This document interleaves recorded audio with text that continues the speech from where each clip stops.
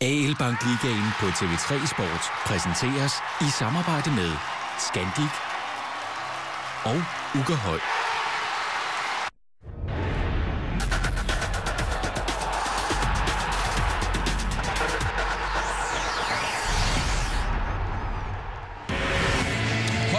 Direkte her fra Frederikshavn. Velkommen til finalerne om det danske mesterskab i ishockey mellem Frederikshavn Whitehawks og Sønderjyske. Første kamp her, og det er jo altså en bedst af syv serie. Vi åbner her i aften med Frederikshavn på hjemmebane, fordi de er højt seedet, og altså Sønderjyske på besøg. Velkommen herindenfor i Skandal Hockey Arena. I aften tager vi altså hul på det, der godt kunne hen og blive en, øh, en lang og god serie. Lasse, så nu med bare se, hvordan ser du den her øh, matchup mellem de to hold?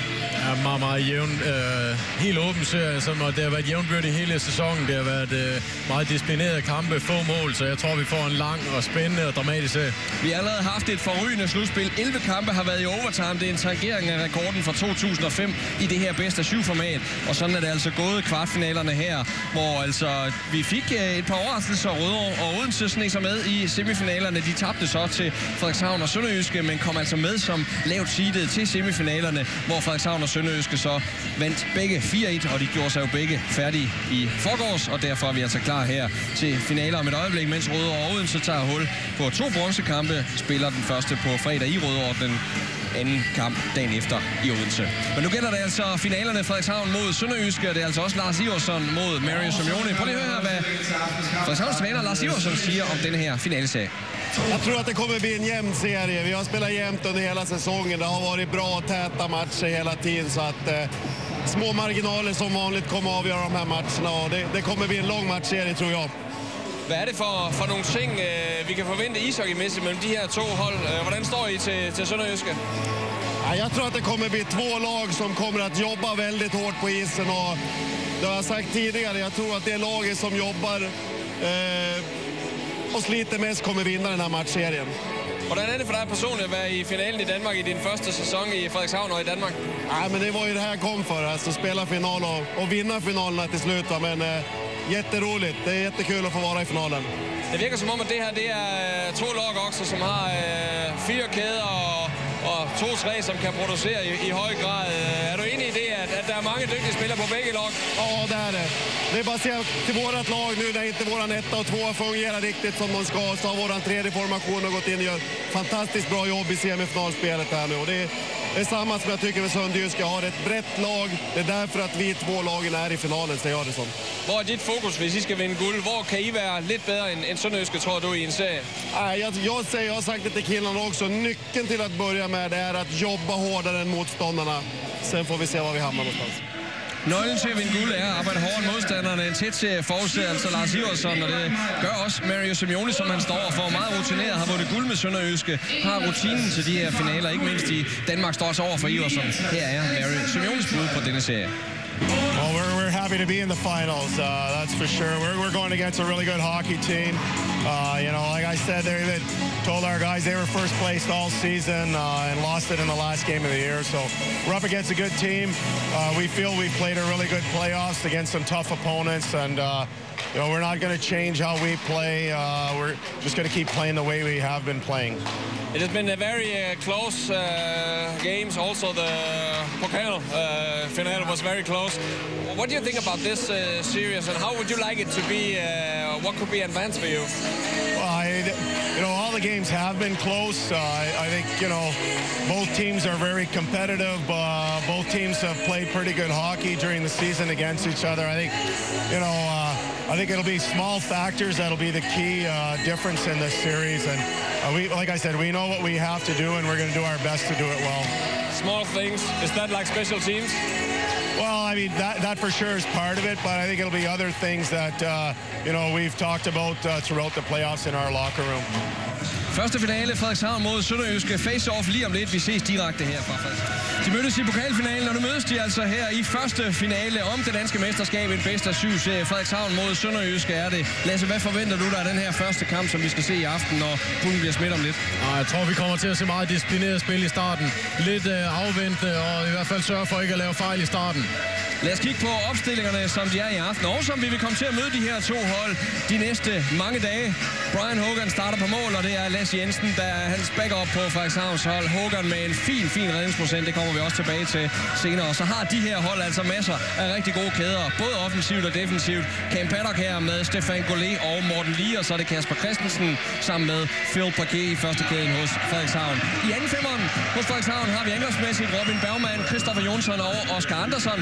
Og så er det Alexander Ytterel og Rasmus Søndergaard, som er de to baks i denne her anden kæde hos Frederikshavn. Tredje kæden hedder, og det er vel at mærke en kæde, som kan producere. Kisum afgjorde jo mere eller mindre, eller sørgede i hvert fald i overtiden for, det var i ordinær kamp, sørgede for overtid. Kisum med sin mål til 3-3 for to dage siden. Nikolaj Nedermark og Nikolaj Meier sammen med Scholdan og Mads Bæk på baksiden her hos Frederikshavn. Og så har vi altså en øh, bænk hos Frederikshavn med folk, som kommer ind.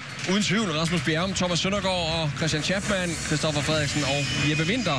Winter, som var tre år gammel. Senest Frederikshavn vandt det danske mesterskab i år 2000. Yngste mand på Frederikshavns hold og i øvrigt et af de største talenter PT i dansk ishockey.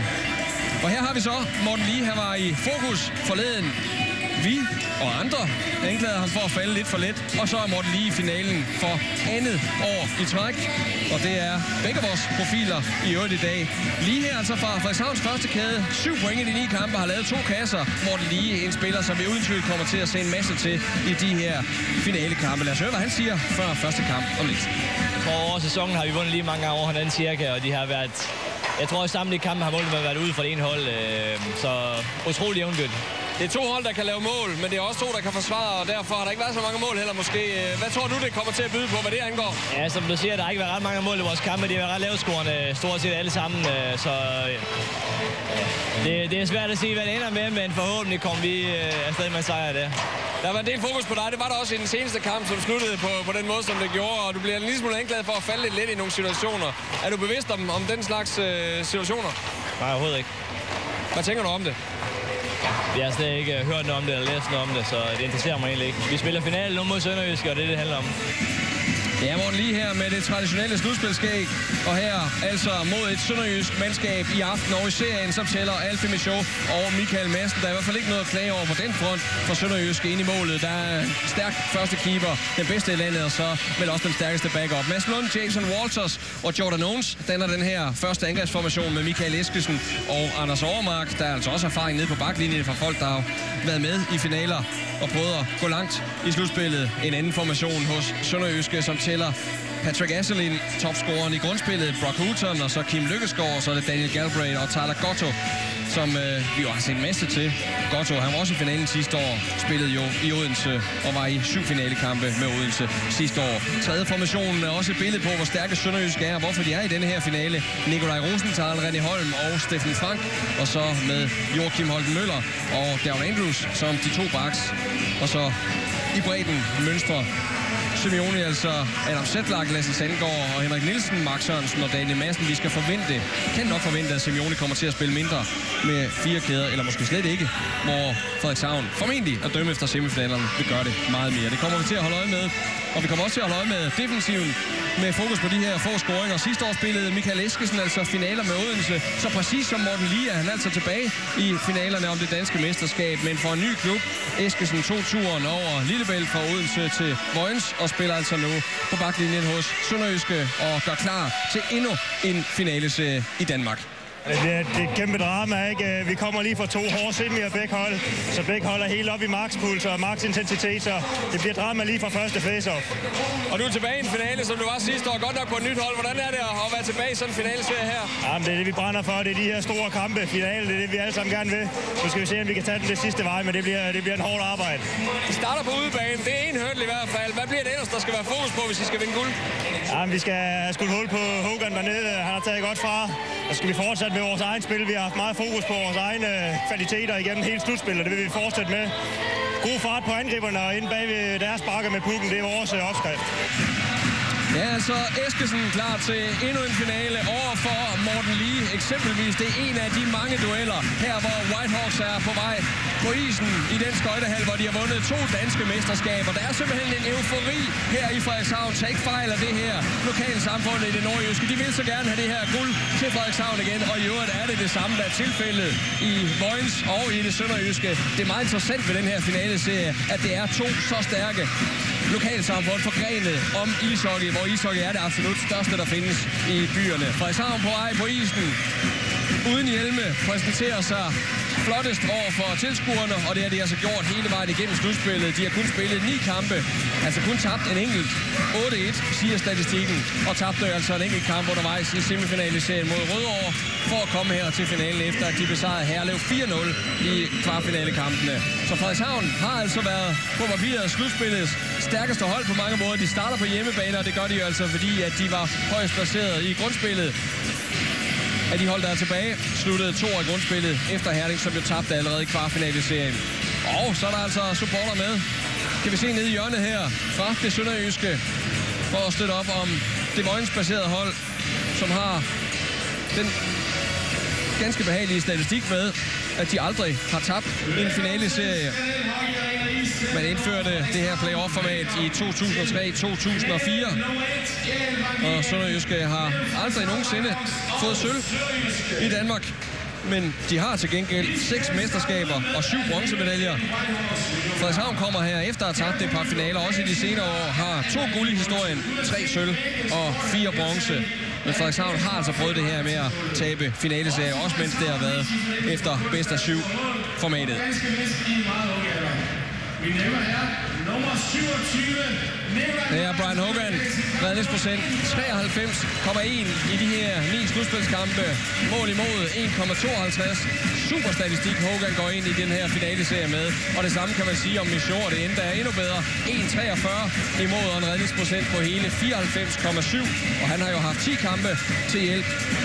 Ikke at det er nogen hjælp på den måde, for det er jo selvfølgelig et snit det her, men der var jo altså lidt flere kampe mod Esbjerg. Velkommen til Tina Og ligeledes altså fem kampe mod Odense. Og her er Tina Sil, vi skal have nationalmelodien.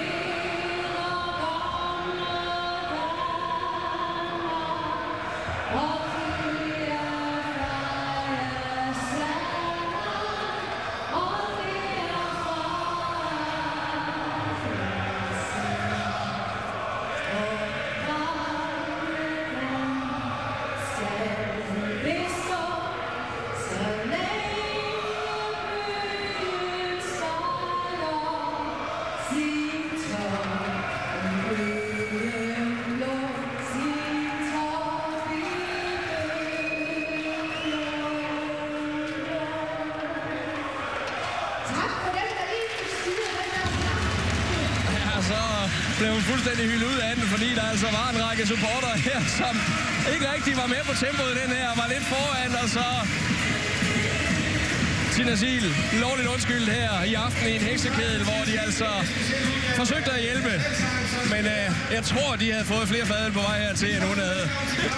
Tak til Tina Sil for sangen, her hvor Lars Iversen gør klar til sin første finale i Danmark, første sæson i Danmark, og som han sagde i optakten, det er jo altså det her, vi har spillet for, ikke bare for at være her, men også for at vinde den. Og nu står det her. Simeone står her igen. Coach Simeone, cheftræner for Sønderjyske, klar til de her, måske helt op til syv finaler. Meget godt bud er vel, Lasse, at vi skal have minimum en øh, 5-6 stykker. Jens Christian Gregersen og Thomas Lassen åbner som dommer i serien her med Jonas Reim og René Jensen, og så er det Kim Pedersen, der sidder som øh, videodommer her i billedet. Så vi lige Thomas Lassen klar om et øjeblik. Men Lasse, det kan vel næsten kun blive 5-6 kampe det her øh, minimum, kan det ikke? Jeg har overset over de to mandskaber, utrolig jævnbyrde. Historien hen over sæsonen, det var pokalfinalen også. Det er formentlig de to bedste hold i ligaen, der mødes i finalen. Ganske fortjent. To sultne mandskaber, som gerne vil vinde noget.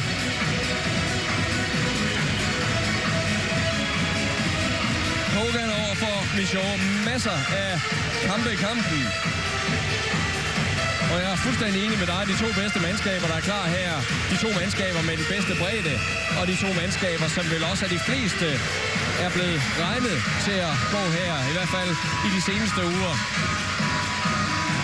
Klart fokus på de øverste hold. Men efter Herning røg ud, som var en af mesterskabsfavoritter med deres grundspilsafslutning, så har masser af fokus og eksperttip været på de her to mandskaber. Og nu er det her. Første face-off til finaler om det danske mesterskab 2013. Michael Eskesen smider pukken ind. Phil blokerer over for Jordan Owens.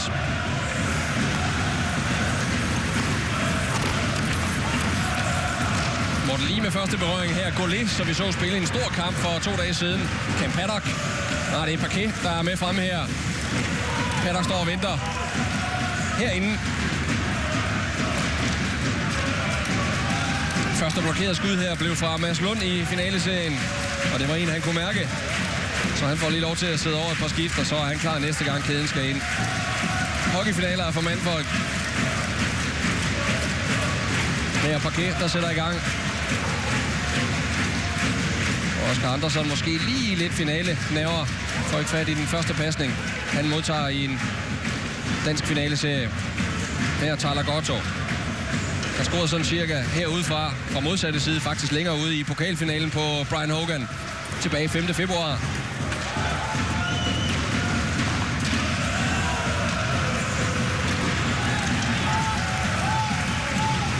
Frederikshavn vandt tre kampe i grundspillet mod to til Sønderjyske, og så med pokalsejren har Sønderjyske altså sørget for, at den står 3-3 i de seks indbyrdes kampe i løbet af denne sæson. Fuldstændig sæt på papiret. Formentlig også lavt scorende, og formentlig alle kampe helt individuelt set. Stort set 50-50 i denne serie. Ja, jeg tror, jeg forventer også meget, meget tætte kampe her. Det er spændt på at se, uh, se starten af kampen. Jeg forventer altså, de, de begge mandskaber spiller aggressivt, takler ud, spiller situationer, men, men også med stor disciplin. Og man hele tiden sørger for, at pukken foran sig tredje mand hjem også. Rosenthal, der prøver. Ja, det kan sagtens komme til at minde lidt det her om spillet i en overtime. Altså, man vil være sikker på ikke at lave fejl og spille rigtig disciplineret, som du siger. Ja, i hvert fald sørge for, at man ikke lige øh, giver et mål eller to væk i starten, og dermed øh, taber momentum.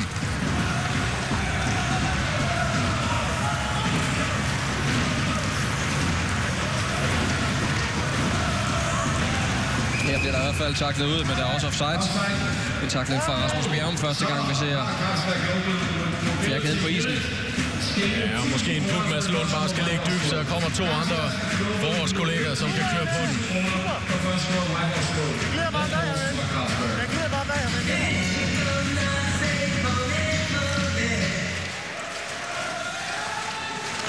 Charlotte Gorto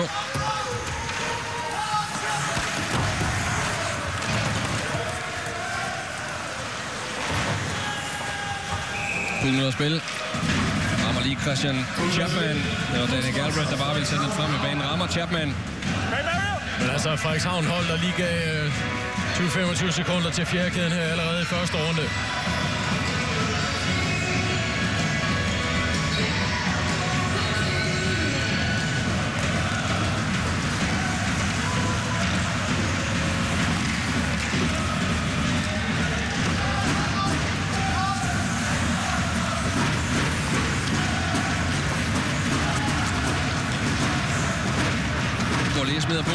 Lige på jagt efter den over for Galbraith. Kim Lykkeskov, som scorede sit første play-off-mål for to dage siden, da Sønderjysk afgjorde serien mod Odense. Patrick Asselin, som har været lidt anonymt i nogle af kampene i slutspillet, ikke været lige så markant som i store dele af grundspillet. Spændende at se, hvad der kommer fra ham her i finaleserien. Ja, startede lidt tungt, specielt i starten af kvartfinaler, men man synes, han har spillet sig op, og specielt i powerplay har han været vigtig for dem i semifinalerne. Kristoffer Jonsson. Oskar Andersson tilbage til Jonsson. Han er holdt ned og takle. Og her er afslutningen. Faktisk en god en. Jeg tror, den rammer Christoffer Jonsson. Det var Bergman, der fik first timet. Nåede slet ikke ind til Michaud. Bergman igen. Og igen masser af folk. foran i afslutningen.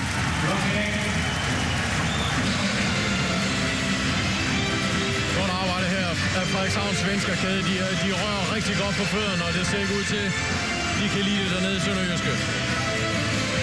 Kommer til at hænge lidt efter i nærkampen.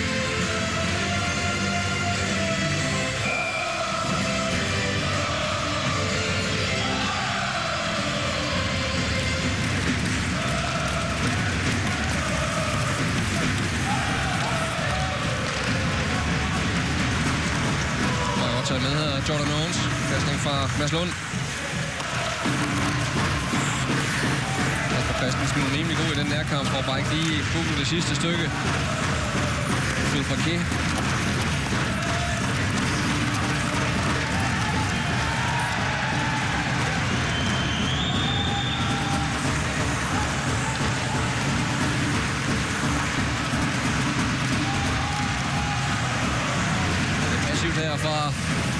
Sønderjyden omkring den blå linje. Åh, oh, er farligt her, Phil Parquet. Får selv reddet situationen.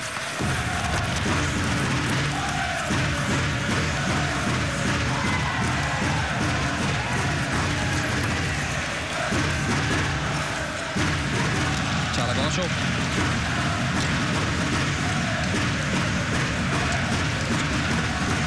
Og altså istid her til Sønderjyske Sværkæde.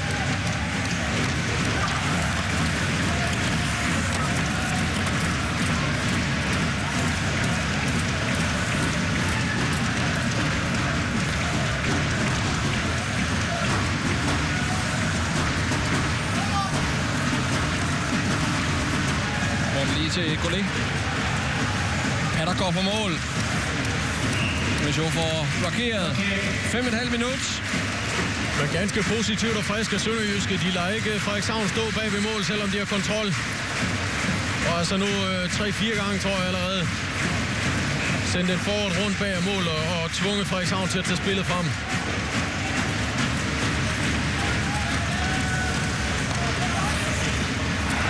Og tæt på her. God afslutning fra Paddock. Frederikshavn med de bedste muligheder. Morten lige. Skal ind foran. Første kæden her er nærgående hos Whitehawks.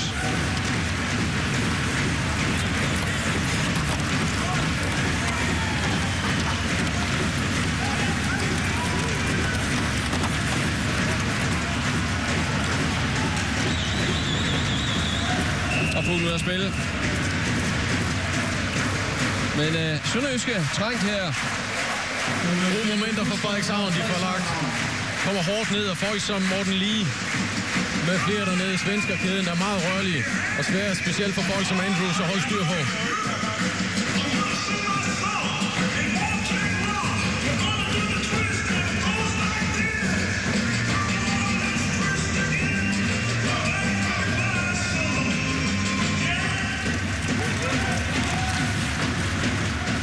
Fint besøgt allerede her til den første finale. Vi er helt sikkert op omkring de 2500. Og om vi lige er helt op i nærheden af udsolgt hus omkring de 2800. Det må tiden og brandmyndighederne vise. Og der er ikke sådan helt pakket rundt i hjørnerne. Og det kan eksempelvis være på grund af sidstnævnte. Men øh, vi venter på tilskudstallet, der kommer senere. Men interessen er der i hvert fald, påske eller ej.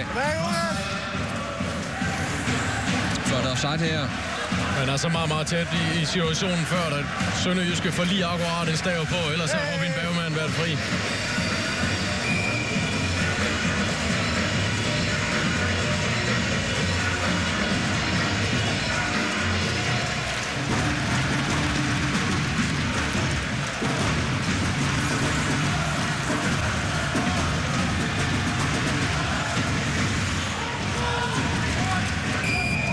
Her med Rasmus Søndergaard, der dumper pukken ned. Hey, hey, hey, it's before red. Yeah, but it's an icing call. That's an icing. That's why we blow. The right thing is to blow because that's an icing. Doesn't matter. Yeah, yeah, but he makes an icing call. That's why. No doubt.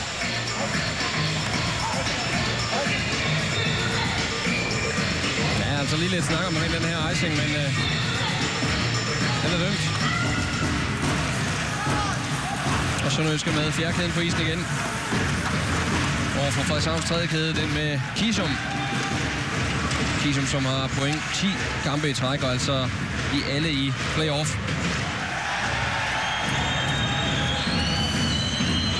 Altså to kæde, tredje kæder på de to hold her, som virkelig har været toneangivende og haft afgørende faktor i flere kampe.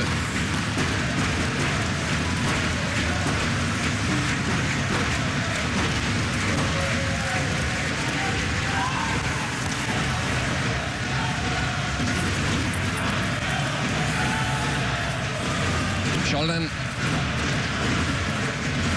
som nok sammen med flere af de rutinerede folk, ikke mindst den Mads Bæk, er folk, der tørster efter guld. Har altså været med i de her par finaler, Frederikshavn har tabt i de seneste år.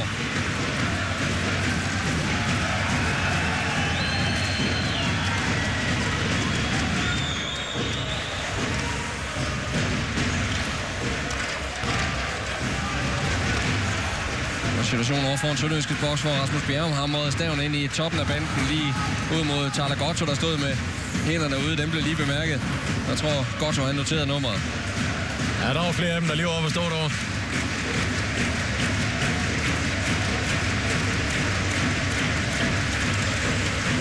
Og så var der ikke mere i den situation, men øh, trods alt et signal om, at tændingen er på plads. Og også lidt risikabelt af Bjerrum, som i hvert fald ikke er med for at tage udvisninger her. Godt sat op af Lykkeskov. Det er meget, meget tæt på Brock Hudson. Kæmpe chance, og Hutton står inde i midten, midt i den bedste øh, position i skudsektoren med ret fatning til at kunne skyde første gang. Godt spil af Lykkeskov.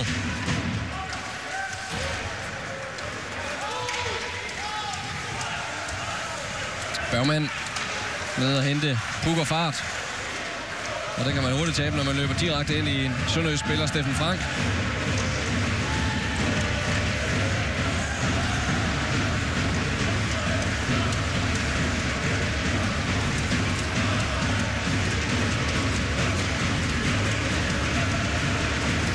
René Holm.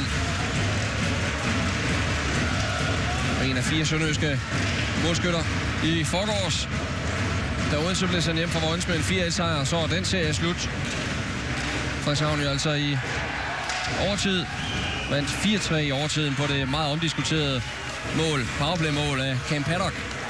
Skud efter kun 9 sekunders overtal på en udvisning, som efter mangens mening ikke var der, og i øvrigt også efter dommer Jacob Grumsens mening, det var ham, der dømte den. Jeg har bagefter været ude og beklage situationen. Ja, der er i virkeligheden ikke andet at gøre, og, og stærkt af Grumsen, han, han bekender kulør og, og tager det som mand.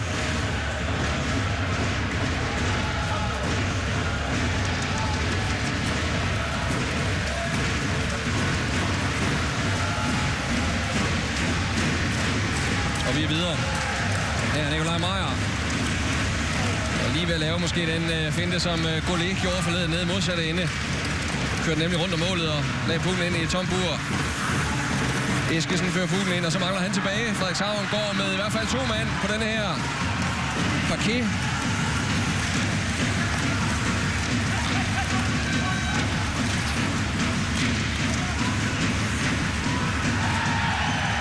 Og igen fjerkæden hos Frederikshavn, der får stor tillid fra Lars Iversen.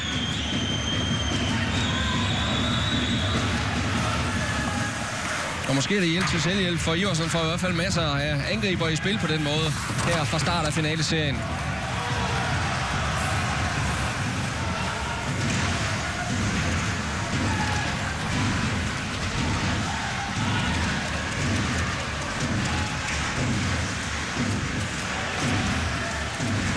Det var Yttervald, der var gået med frem. Og her er stor mulighed. Gullet der rammer forbi mål. Jeg tror, Pum står lidt på højkant. Svært for ham at kontrollere. Olsen, der prøver.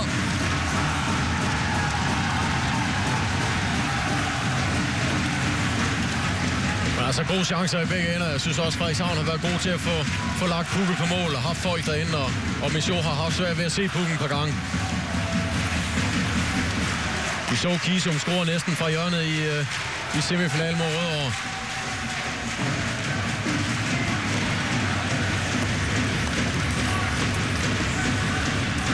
Sheldon.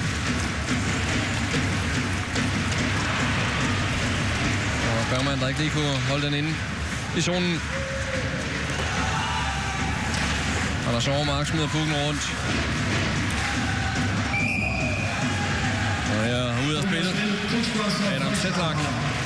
Og inden fra Sønderjyskes fjerkæde. Første mål, er altså Carlsbergs Global Mobility Unit, der har stillet 1000 kroner. Her er chancen til Gullet. Ja, så man ligger, det er værd at bemærke. Cam Paddock står også lige inden foran med show.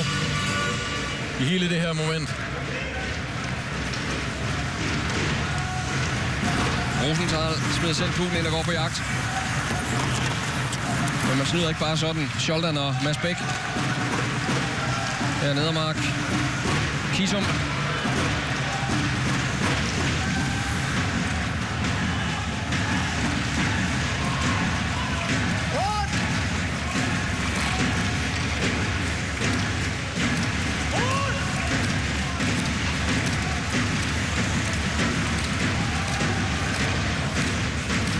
Kisum. Kommer en udvisning her til Sønderjyske. En tripping på Kisum.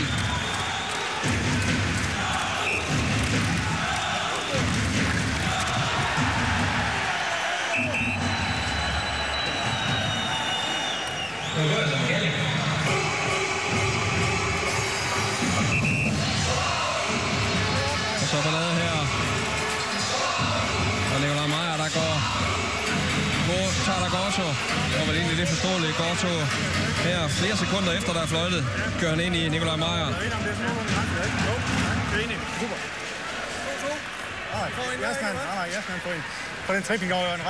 Jeg tror, han har hørt fløjten. Dommeren stod på meter, ikke? Vi får to minutter. Ja, men der var sjovt nok ikke nogen af dem, der drejede af. Det er også det, sådan en serie her handler om. Man drejer måske ikke lige af. Og man ved, man mødes igen om to dage. Første powerplay i den her finaleserie i 2013. Det bliver altså til hjemmeholdet Frederikshavn Whitehawks. Og når vi snakker om de små ting bliver afgørende, så er det altså special teams.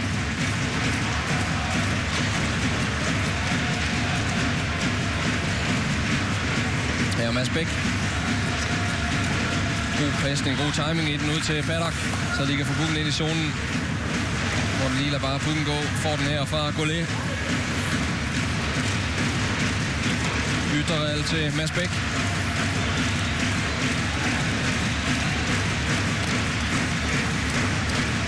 Det er en svær pasning. Eller hvad det nu var, for der kommer ikke nogen modtager, de må ud igen. Åh, skidt beslutning af, af Gullet.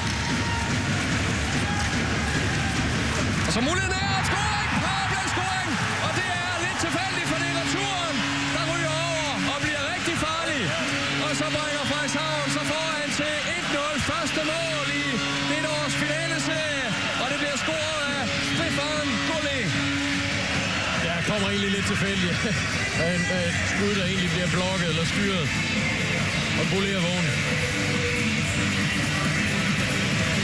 Den her fra Ytterreal, som rammer en sønderjysk skøjte.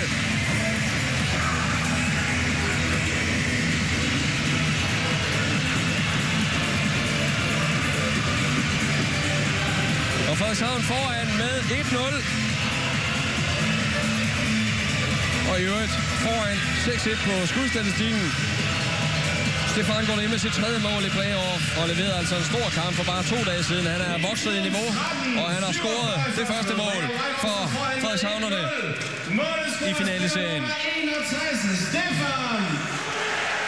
Assisteret af nummer 69, Alexander. Tak for det. Noget af sidst sponsor Rocky Frederikshavn.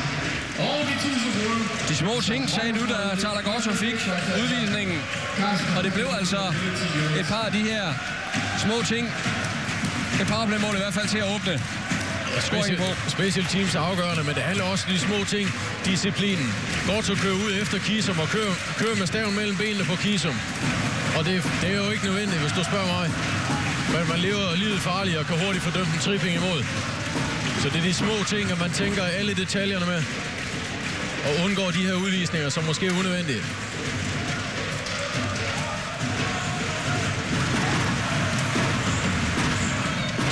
Kisum. Michaud, der vælger en blokering, havde muligheden for at smide den til Anders Overmark.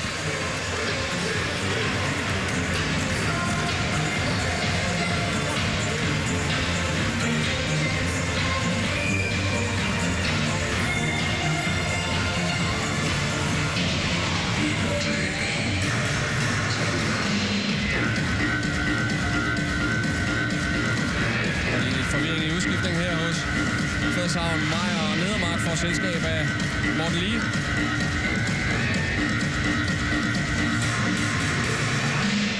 Lige startede også tredje periode i femte semifinale forleden. Denne her kæde byttede med Kisum, som startede med Pattergaard og Goulet. Walters, Sønderjyske med en stor mulighed for udligning.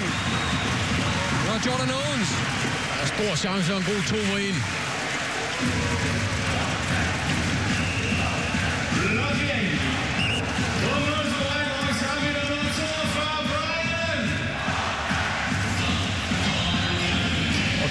Christensen bliver altså fuldstændig overløbet af Walters i midtzonen, og der kommer to mod 1 situationen.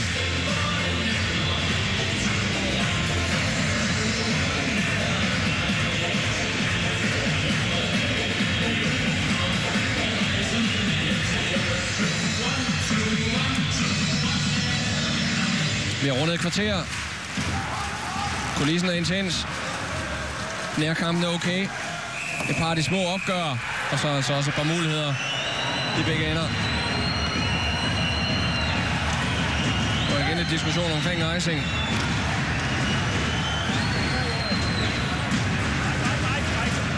Tæt på Odense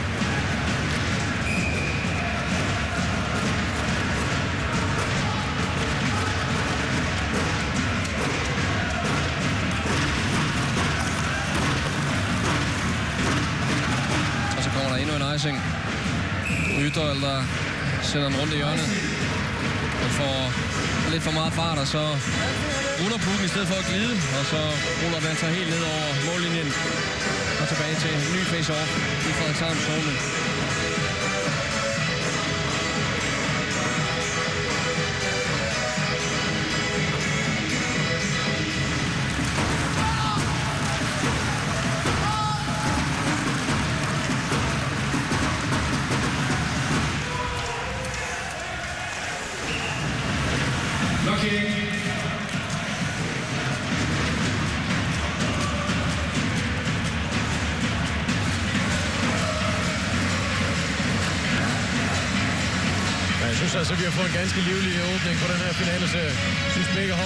Villige til at gå frem i forserien og stresse modstanderen, og ikke bare stå i midtzonen og vente.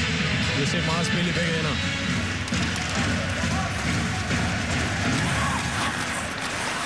Lykkeskov. Eskesen tilbage til Anders Overmark.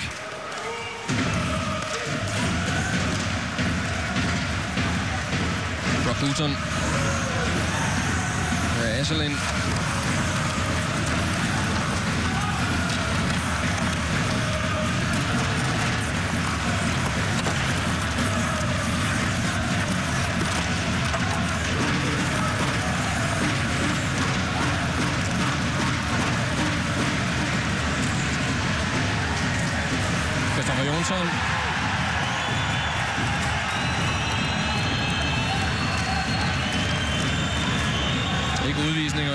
Gregersen står meget tæt på og ryster faktisk på hovedet, bare lige for at sende det tydelige signal, at han altså så situationen og slet ikke vurderet som en ulovlighed. Udmærket signal for dommer. Viser i hvert fald, at han er over situationen.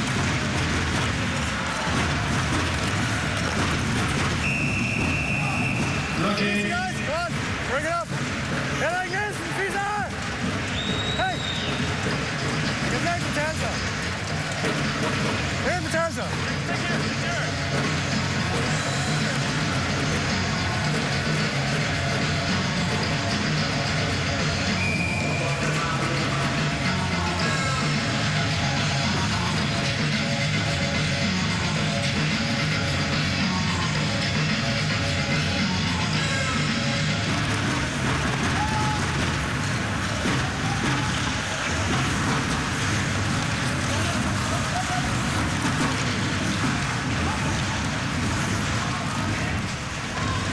Minutter tilbage af første periode. Daryl Andrews med pukken.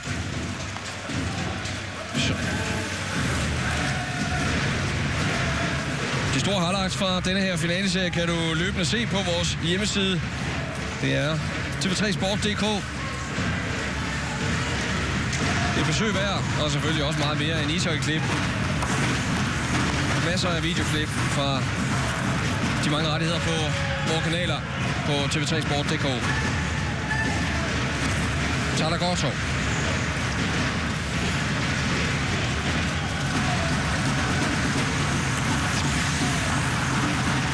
er farligt ved, når Gorto går med frem og smider sådan en pasning her. Tidligere det er altså, han mangler tilbage. Der Jason Walters gået tilbage på hans bakplads. Ja, går man med som bakker og smider den ind midt, i, ind midt i slottet, eller ind midt i zonen, eller lignende situation, jamen, så er det altså vigtigt at adresse på afleveringen.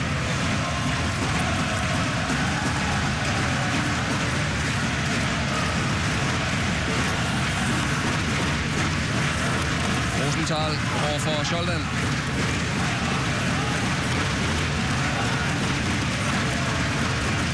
Noget af det herlige ved sådan et slutspil her, hvor vi nu har set bedst af syv kvartfinale og semifinale serie. Det er også det her med de samme navne, velkendte navne, der går igen. Scholdan her. Masser af store danske profiler, velkendte navne i det her slutspil, og så krydder med udlændinge, som vi efterhånden også har fået et godt kendskab til med alle de her kampe. Selvom der er stor udskiftning på de udenlandske poster fra sæson til sæson.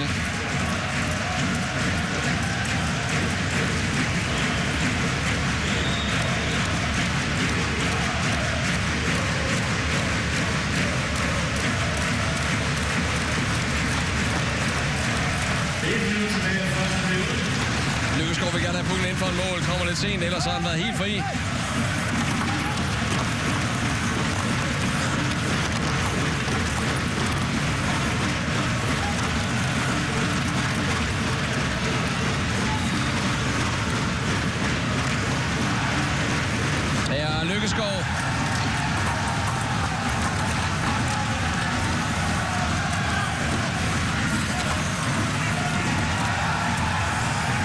Sønderjyske skud på mål i denne periode. 7 til Frederikshavn. Parké ind og tage Brock Hutton ud. Godt defensivt arbejde. Uh, er en farlig pasning til gengæld. Lykkeskov. Joachim Holten. Det kommer Oscar Andersen og redder.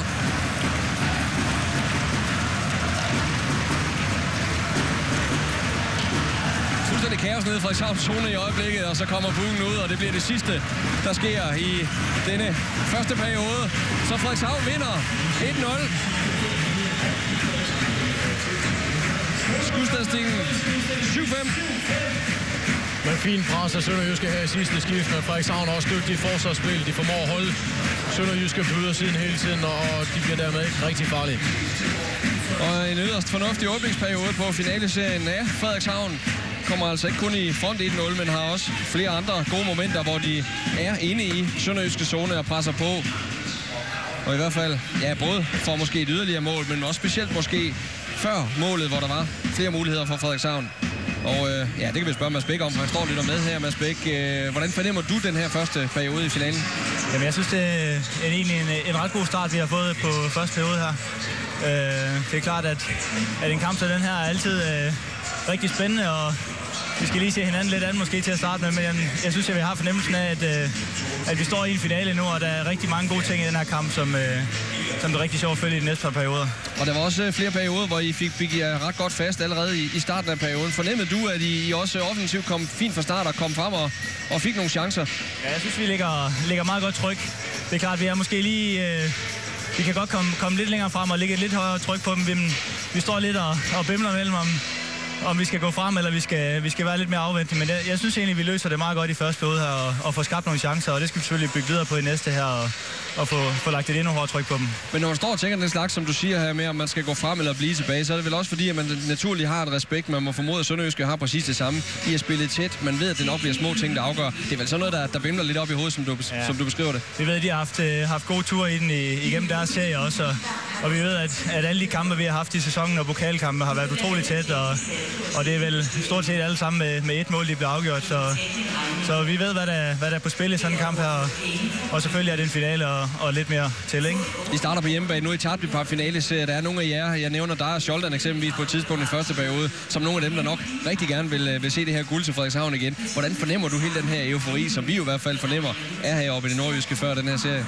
Det er klart, at vi er måske nogle ældre, som, som, øh, som har gået og ventet på det her lidt længere tid, men men samtidig tror jeg ikke, vi skal have nogen tvivl om, at, at alle de unge, unge spillere, vi har på holdet, og alle de udlændinge, vi har på holdet, de, de vil det her lige så meget som os. Og vi talte om det inden kampen, at, at det er ikke tit, man får lov til at stå i en, en finale som den her, uanset hvilken liga man spiller i, så, så det er stort for alle. Tak skal du have, og held og lykke videre, både i aften og selvfølgelig i serien. Jo, tak. Mads Bæks vurdering her, den nordjyske bankmand, det kan jo være, det er hans bank, der skal udbetale en eventuel guldbonus til holdkammeraterne, hvis det skulle komme til sådan en til udbetaling her i uh, White Horse Land. Uh, Lasse første periode, og, og Mads Bæk her med en uh, vurdering, hvor han er rimelig godt tilfreds, men også nævner det her med, at man står nogle gange lidt som spiller derinde, og, og ved ikke helt, skal man gå frem, eller skal man gå tilbage og, og spille lidt på det sikre? Ja, det var lidt det, jeg snakker om inden. Altså er der 50-50 situationer, så vil jeg forvente, at holdene trækker tilbage, stiller op og sørger for, at man ikke åbner op i, øh, i kamp 1, og ikke laver fejl og giver kampen væk. Vi taler meget mere om den her første periode i finalescenen, når vi kommer tilbage om et øjeblik, og så er der selvfølgelig også højdepunkter, og ikke mindst målet, powerplay-målet, som Frederikshavn jo scorede efter 48 sekunders overtal. Det var Stefan Gollet, der åbnede målscoring i denne her finaleserie. Vi er tilbage direkte her i hockeystudiet Frederikshavn, og det er vi om ganske få minutter til yderligere kig på første periode. Velkommen tilbage. Det er et finalestudie, vi står i her de næste mange dage i den her finaleserie mellem Frederikshavn og Sønderjyske 1-0 altså til Whitehawks efter første periode af en øh, ganske velspillet, underholdende finale serie, Lasse, med tanke på, at det også skal være lidt disciplineret, og de skal se hinanden lidt andet, som spillerne siger. Men øh, vi fik også åbnet lidt op. Ja, det synes jeg, der har været øh, rigtig mange afslutninger, synes jeg, kvalificerede afslutninger ind midt i øh, indre skudsektor, som øh, vi kunne sagtens have haft to-tre mål i hvert fald. Vi har stået og talt meget om det her, det kan godt blive tæt, og øh, tæt hele vejen igennem. Spillerne har sagt det i optakten, og Mads Bæk er også lidt inde på det her, at, at man forventer, at det bliver sådan. Vi har et øh, skilt, som fortæller, hvordan det er gået indbyrdes. Noget af det, vi også talte om i første periode, hvor tæt det har været i denne her sæson. Det her, det er altså resultaterne, de indbyrdes kampe. Og prøv at se her, det er jo ikke fordi, der er målfest. Altså den der 2-3, den skiller sig jo næsten ud som, øh, som en, en ren målfest. Men øh, fire mål, tre mål, et mål, et mål, fem mål, to mål, når vi har Albank øh, Cup-finalen med. Nederst og så altså det aller nederste her, siger altså 3-3 indbyrdes opgør. Men altså, når man kigger ned over det her, så fortæller det jo nok alt om, hvordan, øh, eller hvorfor i hvert fald man tror, det kan blive som øh, ja, 1-1, 2-1, 2-2 den her finale til os. Ja, det vil øh, være det mest logiske at sige, men altså også to gode målmænd, vi har, vi har på, på de to respektive hold. Plus det er to, to hold, som har et, et, et, et stærkt og kompakt spil hjemme af banen og kan spille og forsvare en, en, en smal føring. Lad os prøve at kigge på højdepunkter fra de første 20 minutter, som altså bød på en enkelt scoring. Det er også situationen, hvor Frederikshavn altså før målet forsøgte. Ytterdal, der var gået med frem og forsøgte, og den her fra Gollet. Hvis han rammer målet, så er der altså rimelig god sandsynlighed for, men Pukken står lidt på højkant, og han får ikke rigtig ram på den. Og her er situationen i powerplay. Ytterdal, der rammer en skøjte, og så Gollet med baghånden, og så bliver det altså 1-0 til Frederikshavn. Ja, de havde lidt svært ved rigtigt at få etableret noget. Her kommer de så ind i zonen lidt tilfældigt. Ender Ytterdal skud med, øh, til en gratis chance til... Uh... Til Gollet, der er scoret til 1-0. Små 14 minutter spillet på det tidspunkt. Og så lige efter Sønderjysk altså med en super god mulighed. Den er stor, den her. Hogan følger ham godt til døren. God pasning af Walters. Owens får ikke løftet pukken, og Hogan sidder nede, hvor han skal. Og før vi starter anden periode om lidt, så er der direkte interview med Sønderjyskes træner Mary Simeoni. Så på gensyn her, direkte fra Frederikshavn, hvor hjemmeholdet fører 1-0 over Sønderjyske i første periode af denne her finale. Mens vi står her og venter på anden periode i den første kamp om det danske mesterskab mellem Frederikshavn og Sønderjyske, kan jeg lige give en øh, rigtig glædelig opdatering fra National Hockey League. For endnu en dansker er i øjeblikket i gang med at debutere i NHL. Det er bakken Oliver Holter Lauritsen, som er opvokset i Gentofte. Så stor kado til Gentofte ungdomsafdeling for at have fostret Lauritsen. Han spiller for Philadelphia Flyers, der er foran 2-0 efter to perioder mod Boston Bruins. Og øh, Holten Lauritsen, han øh, har altså fået næsten 12 minutters istid de første to perioder. Det er meget, meget fint. Han fin udvisning i allerførste skifte efter 56 sekunder. Og øh, ja, så er man jo også klar, og i hvert fald med på kamprapporten. Det, det tæller jo alt sammen, Lasse. Men øh, lad os komme ned og få en reaktion øh, fra Mario Simeone. Mario, uh, what did you tell the players here um, after the first period?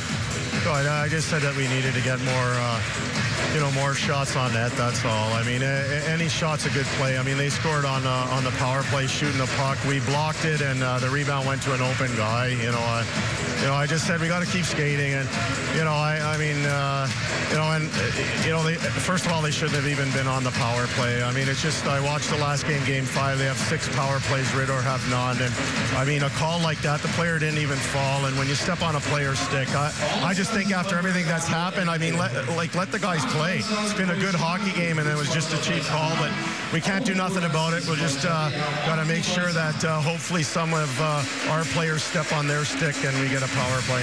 Thank you very much. Thank Good luck here. Thanks a lot. Mario Simeone her, og øh, ja, det var tidligt, at øh, vi fik det første dommerbrok efter en første periode, hvor der ikke har været så meget og en enkelt udvisning, og vurderet herfra en øh, i øvrigt fuldstændig korrekt trippingudvisning, som altså blev dømt på Tyler Gotto imod Tobias Gisum. Også en, vi, vi talte om i første periode. Lasse, men, øh, men sådan er hockey, når følelser, der kommer op i øh, både spillere, trænere og fans. Så det her var altså første statement fra Simeone mellem første og anden periode. Ja, det er klart, at han ønsker at lægge pres og fokus på, på den del af det med det samme, men øh, jeg synes også, man må kigge lidt ind og går så flyver med staven mellem benene på Kisum. Og det er altså ikke en tilfældig stav, Kisum falder i. Og lige netop det, du siger med at lægge pres på, det er vel i den kategori, vi skal lægge den her udtalelse fra øh, Mario Simeone, at øh, man bruger alle knep. Ja, præcis. Og det skal selvfølgelig ikke være kamprapporten i Rødovre kampen. Lad os nu kigge på de her perioder isoleret set. Men Simeone jo i øvrigt have, at de skal skøjte mere flere skud på mål. Men man må også Ja, og måske ikke som her. Tag driblingen og driblingen, og han vil nok gerne have, have set Owens afslut her.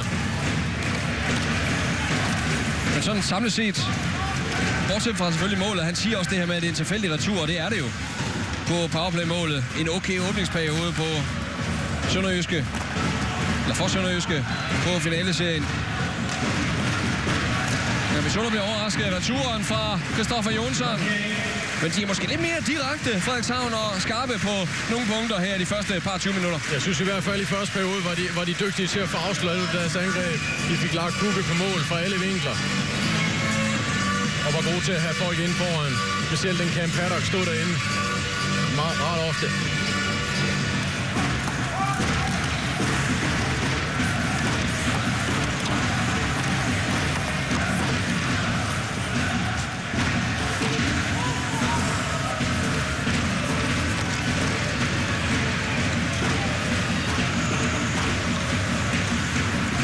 Yttervalden Drilsbuk, der hopper lidt.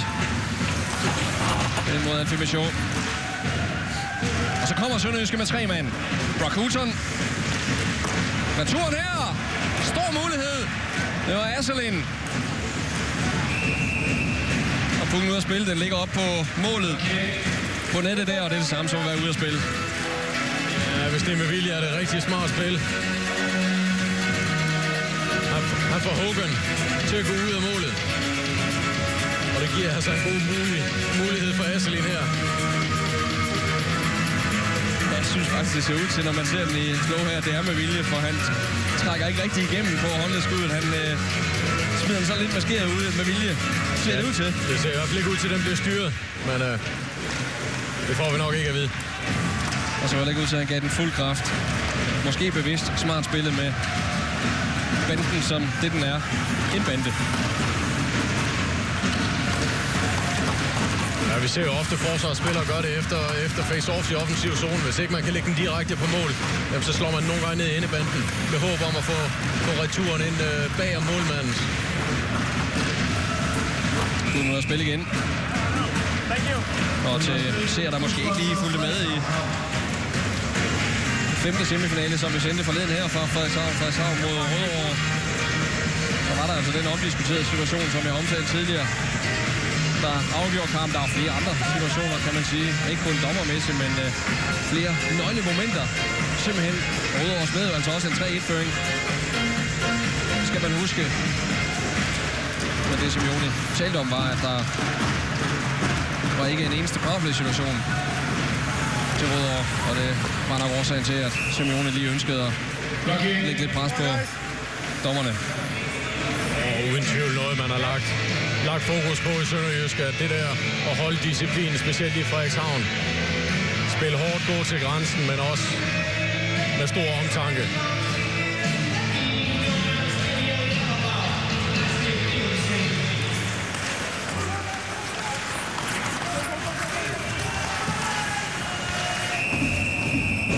Hey, hey, hey.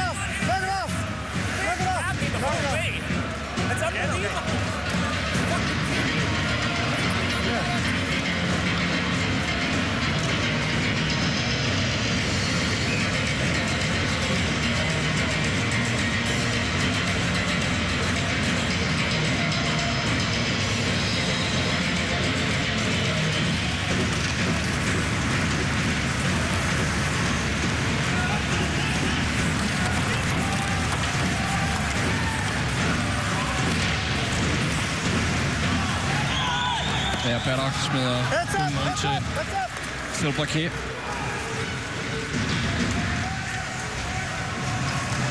Åh, oh, skidt pasning fra Braquet. Vil have oh, tæt på at give en stor chance til Asselin. Ja, det er altså en puk, han skal med. Den ligger dårligt, den ligger i skøjter, men øh, man kommer ikke ret hårdt, og den, det spiller hans kvalitet skal tage den med. Braquet, der forsøgte at finde Gullet med, med droppasning.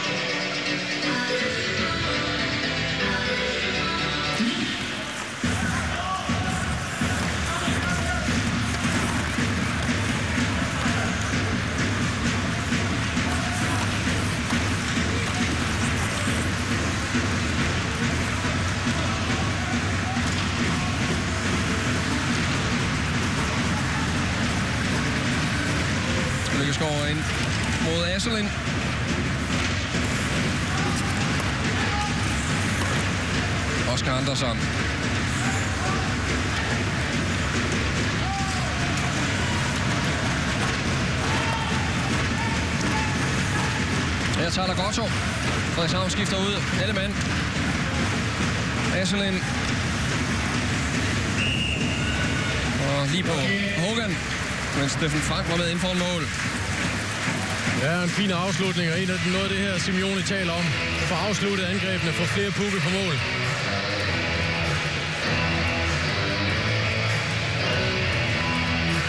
Formentlig ikke så meget for altid at score på første skud, men at, at komme ind og opsnappe de situationer, der kommer efterfølgende.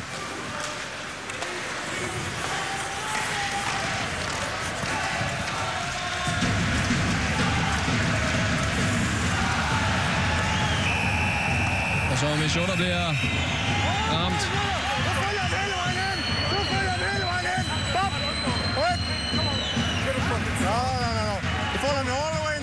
Michoda heldigvis op igen. Der er situationen Kisum, der smider pukken ind. Og Nikolaj Nedermark, som altså bliver godt hjulpet.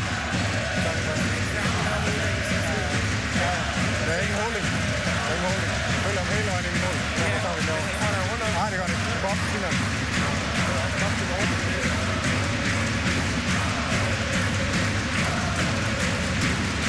en fin og hurtig spilvending af Frederikshavn. Tæt på at få en, øh, en 2-1 situation her.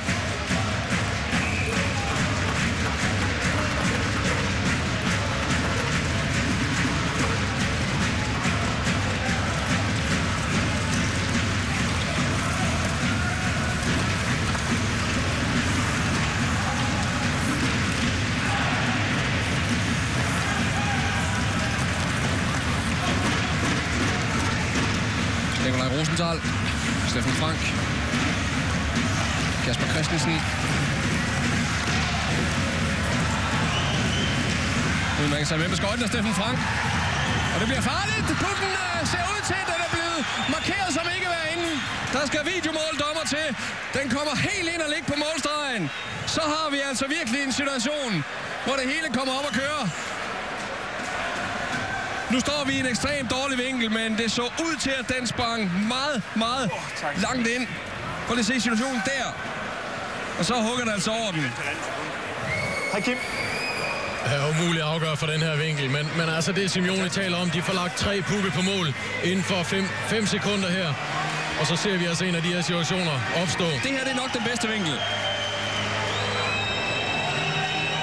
Ui! Den ser ud til at være overstreget umiddelbart på det billede. Den her, der kan man kun se, at øj, den rammer uheldigt også på staven.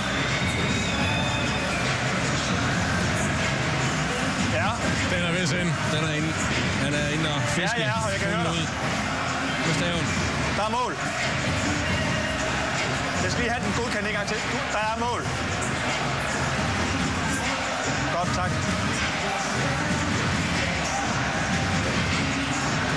Og det er lyden, vi kan høre, det er Jens Christian Gregersen, der står nede, hvor det her kommunikationsudstyr ud til Målscore videomåldommeren nummer 10, tak for det.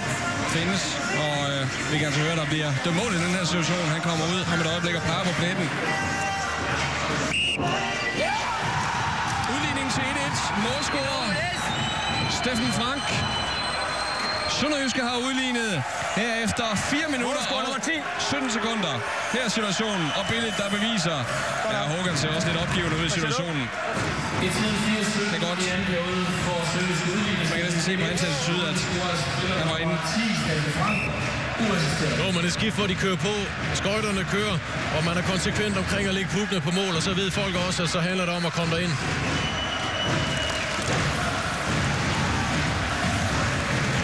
1-1 mellem Frederikshavn og Sønderjyske.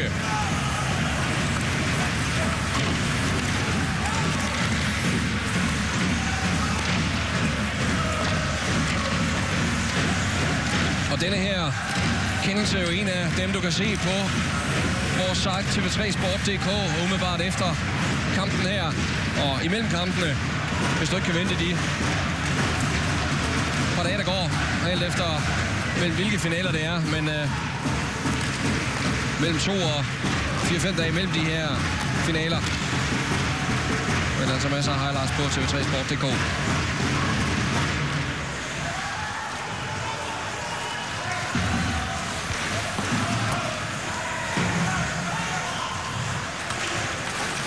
Og skudstatistikken nu 12-11 til Sønderjyske. Og altså isoleret set en skudstatistik Øh, på 7-4 til Sønderjyske her i anden periode. Lykkeskov. Asselin. Morten Lie. Han er god til Goulet. Over for Daniel Galbraith. Som får ordentligt hit af Goulet. Der bliver der uddelt mange af her de næste to uger. I hockeyens højtid. Playoff.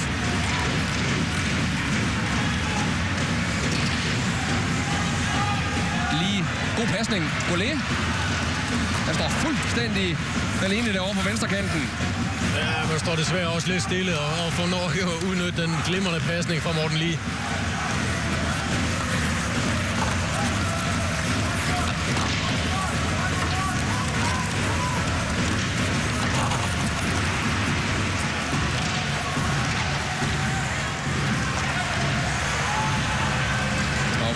Her. Fuldstændig korrekt. Andersson til Kristoffer Jonsson. Returen, den er farlig. Wow, det var tæt på.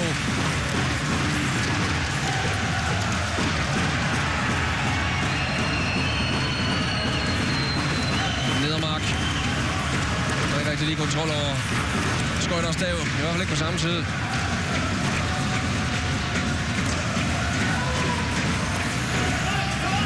Se et par situationer. Der var en stav, der lige var over, over og, og røde en hjelm. Noget, der måske godt kunne være dømt. Ikke, at det har indflydelse som sådan, men det er bare sådan noget, man måske godt kunne forestille sig dømt i oktober. Der er altså lidt marked til udvisning her. Og her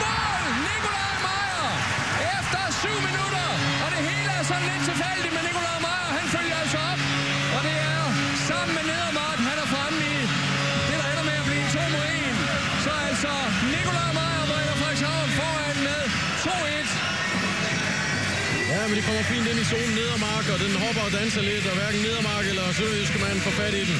Og så er Maja altså, hvor vi skal være. Sønderjyske backchecking ikke helt på plads. Denne her lidt tilfældig Meyer, eller øh, Nedermark tager skøjten til hjælp, og så ender den altså over hos Meyer. Og Andrews lidt på mellemåren her. God vilje af Maja. Her er det faktisk ikke så tosset af Nedermark. Prøv lige at se, at det er sådan set lige ydersiden med skøjten. Men lidt god vilje kan vi jo godt kalde det hele og to. Meyer til 2-1, Frederikshavn foran.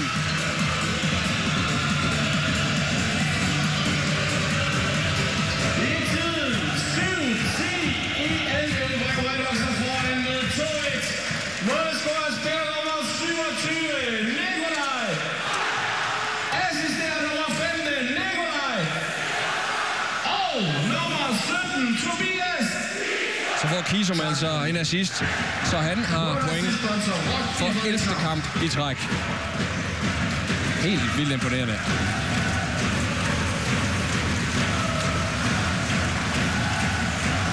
Og så var der altså lige point til hele den tredje kæde, som vi har talt så meget om.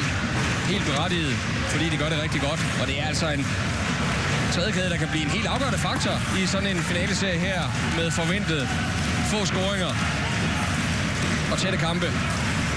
Ja, det er de været, og direkte vandt de jo nogle af semifinalerne for Frederikshavn. Og står altså noteret allerede nu for, for ni mål i slutspillet. Meget imponerende antal. Og afstanding simpelthen i forhold til andre hold.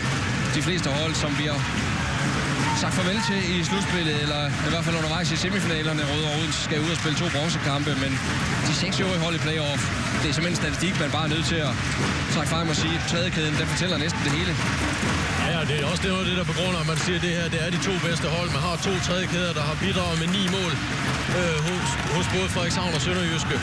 Hvor det næste hold, der kommer efter, altså Rødovre med, med en tredje kæde, der har lavet tre mål. Og ellers så hedder det altså 0, 0, 0 og 2. Så altså, det er her, man skal finde noget af, noget af succesen også hos de to mandskaber. Det er Morten Lige.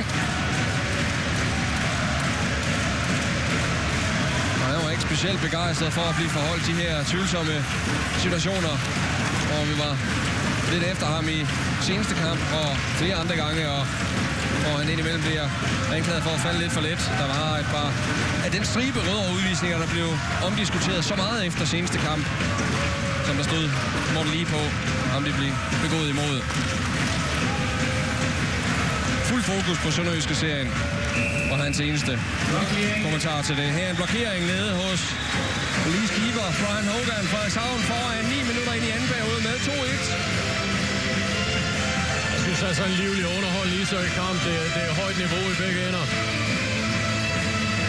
Mange afslutninger, meget angrebsspil.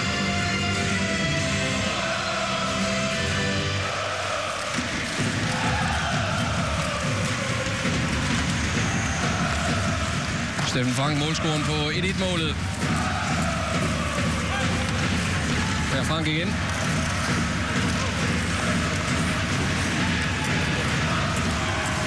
Christoffer Jonsson sender pungen rundt, og den ryger hele vejen ud, og også ned til Eising.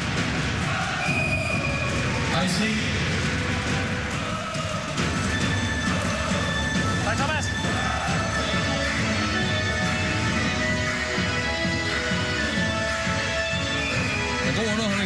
Første halvdel af finalen.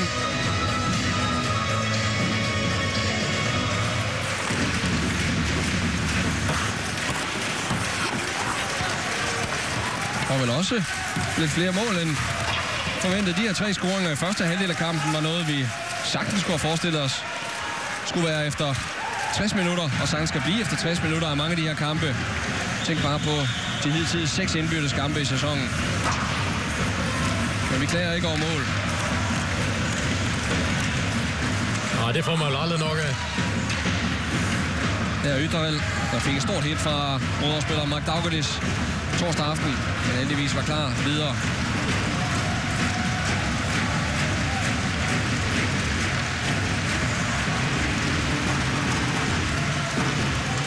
Og vel i øvrigt et playoff uden sådan de helt store svinestreger. Altså,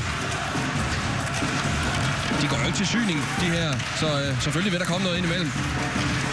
Men at tage betragtning af det er hockeyslutspil, hvor vi har haft så meget intensitet i så mange uger, så har det jo været altså, stor kado til spillerne også, for at, at levere varen. Ja, det synes jeg både spillere og dommer har, har holdt højt niveau. Der har været aggressivitet og stor intensitet, men man har alligevel holdt sig fra holdt sig i skinnet og undgået de her ja, grimme og meget usportslige situationer. Jeg synes, det er og kampen i dag også fint uh, dommerniveau. De øh, spillerne får lov at gå til hinanden og, og spille. Og lige nøjagtigt, når du siger det der, Lasse, at øh, spillere og dommer har gjort det godt. Jordan Owens er inde og presse Hogan. Mads Lund prøver på retur, der er endnu en retur, som Talagotto kommer frem til. Sønderjyske presser på for endnu en udligning. Rigtig godt drive, og Owens kommer, kommer over, kommer på indersiden og ned, nedenom øh, Frederikshavnerbakken.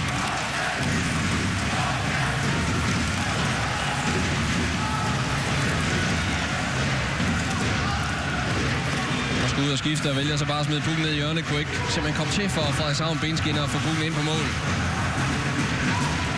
Jack Albright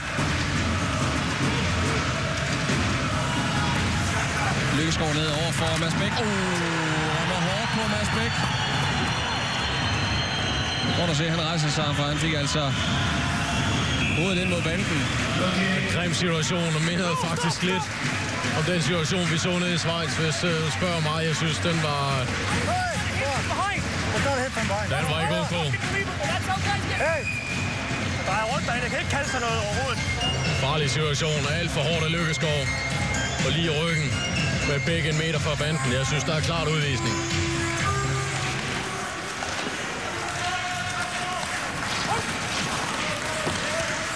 Situationen for Schweiz, som du hentyder til, var et meget, meget trist uheld i National Liga B. I øvrigt i et opgør mod Mariteters klub, hvor en schweizisk spiller ramte ind i banden ned i hjørnet. Og øh, kom voldsomt til skade. Og efterfølgende blevet lam og må indstille karrieren. Det er altså uheld som disse, som kan ske, som meget sjældent sker, men som der selvfølgelig er en risiko for.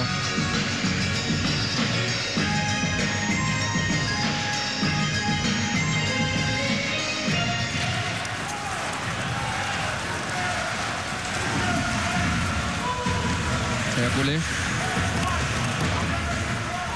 Som blev hentet til kort før transfer deadline. Som erstatning for overtagerspilleren Zach Smith, der jo spillet under NHL-lockouten.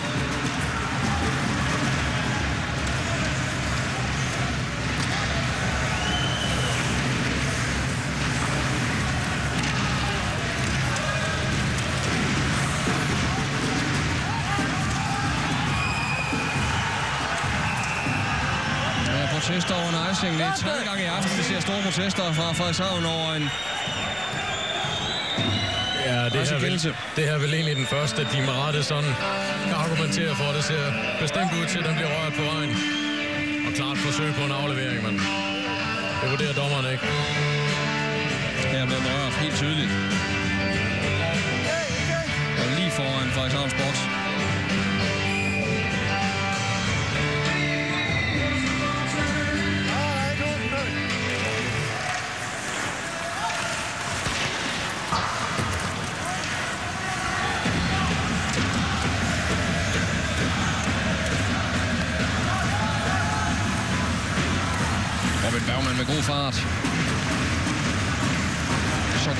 God man kunne se, at han ville få pullen uanset hvor Micho ville skubbe den ind. Kort eller langt rundt i hjørnet. Han havde farten til at gøre præcis, hvad han ville. Mere fart end den sønderjyske bak. Frederikshavn er kontrol. Og hun foran. Og her Mads Bæk, der bliver ramt på munden. Og kører ud, uden for billedet, kører Mads Bæk ud. Et sammenstød mellem to spillere. Ja, vi tager en snak om det, ser den ikke, men, men Jeg har ingenting på det. Siger du? Jeg har ingenting på det. Overhovedet eller kan jeg overhovedet ikke. Min fokus er et helt andet sted. We talk about it, then we'll come back, okay? René? Jeg står der selv ind i den. René? Hold meget ikke. Vi står lige foran. Hvad sker der? Ja, jeg har fokus ned til mål. Godt. Jeg hører stav. Jeg siger klik. Godt. Men det bliver vi ikke klogere af, så kan vi ikke tage noget. Nej. Fint, så tager vi en face-off hernede i zonen. Face-off hernede. Ingenting. Ja, ja. Træder sammen, og det er altså også foregår uden for vores kameravinkel. Foregik væk fra og jeg tror altså, det er Henrik Nielsen, den forreste mand i, i Sønderjyske styrspil, der står og kigger frem i banen, og Mads Bæk kommer bagfra. Jeg tror ikke, han ser ham, uden dog at se situationen. Sådan er det bare.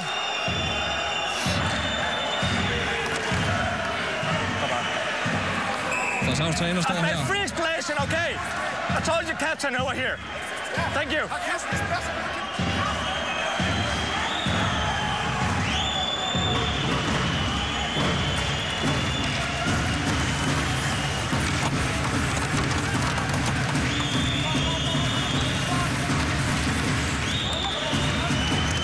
Altså virkelig sind i kog, men dommerne tror der altså sammen. Ingen havde set noget, fordi de havde selvfølgelig fokus på kuglen.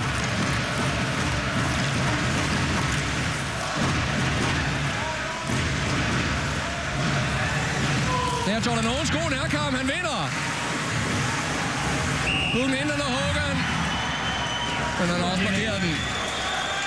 Men det er altså en stærk nærkamp, han vinder Owens. Stærkt igen af Owens. Han har fantastisk skøjteløb. God speed på her. Kommer på indersiden af Sholidan. Løfter lige staven, og så er han væk. Men nu skal den snart ind. Han har haft to gode forsøg derfra nu. Og Scholden, der forsøger. Det er godt gammeldags øksehug, forsøger at genere Owens. Der bliver givet og taget, han får måske forstyrret Owens så meget, han kan i hvert fald mærke, at han er der. Og Hogan klarer resten.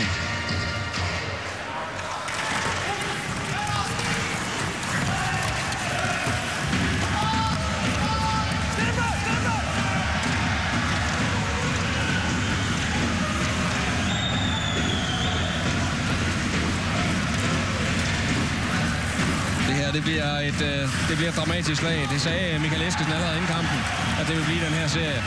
Jeg tror, han får ret. Det er jeg rimelig sikker på.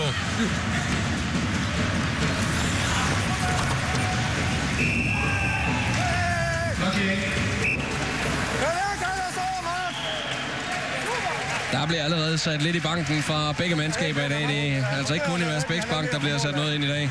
Nej, og når man kommer hen i kamp 3 og 4, jamen så er der altså lidt historik og lidt indbyrdes opgør og nogle regnskaber, der skal gøres op. Så Og lidt træthed.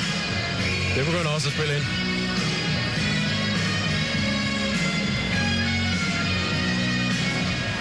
Jonsson tager face-off.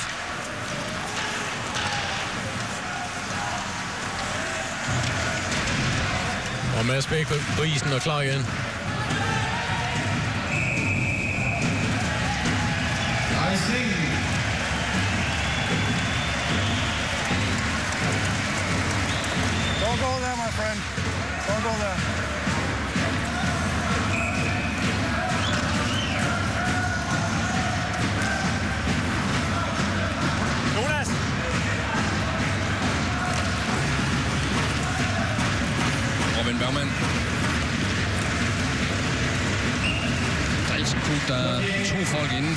Med Mission både Tyler og Oscar Andersen. Og jeg synes, den her kæde fra Frederikshavn har, har arbejdet hårdt i dag. De har, været, øh, de har haft god bevægelighed i, i Sønderjyske zone. Kom frem til gode chancer.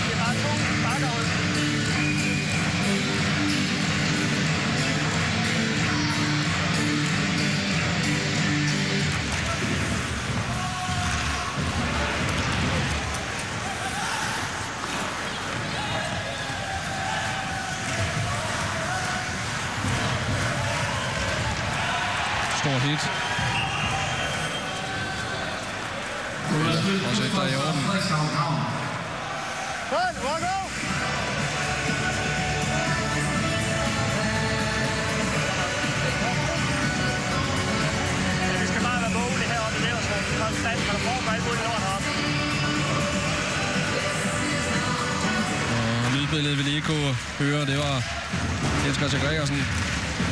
Der over Så det er en lille dommer. Jeg tror, det var René Jensen. Men vi skal holde øje med, hvad der foregår i midtzonen. Der foregår alt muligt lort. Og det gør der. Altså, der foregår nogle af de her ting. Jeg synes egentlig, det er okay, at de ikke har dømt udvist. Man kan selvfølgelig diskutere situationen med Mads Bæk. Der var der ikke ret mange af os, der så. Hverken dommer og kamera. Og i virkeligheden nok heller ikke særlig mange på de to hold. For det foregik væk fra poolen. Om det var tilfældigt eller til en udvisning. Men der er mange af de her små situationer, og det er selvfølgelig det, de reagerer lidt på. Og der er lidt en fysisk, øh, fysisk duel, der, der foregår derinde nu. Vigtige nærkampe over al prisen. Phil Paquet.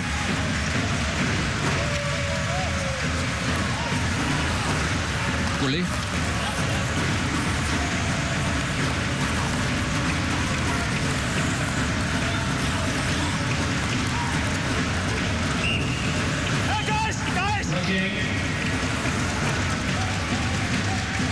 Noget problem. En afslutning fra Rasmus Søndergaard. Det er pisse der, mand. Kan du være med det stav, der hold? Kig også hernede, ikke? Morten lige der får en indstilling fra Jens Christian Gregersen. Jeg tror, det var, fordi han var inde og kendte på Michaud.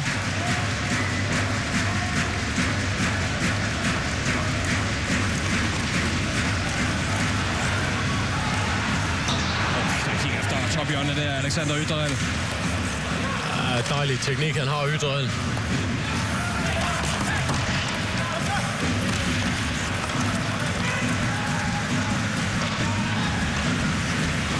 Walters forsøgte at finde Jordan Owens en icing.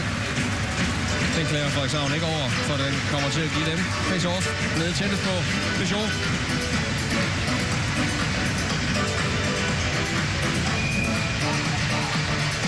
Tæt på det her. Sætter han det i hjørnet, så bør der være klasse.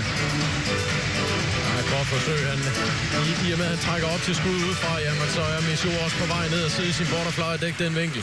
Og skal så lige pludselig tilbage og dække en ny vinkel.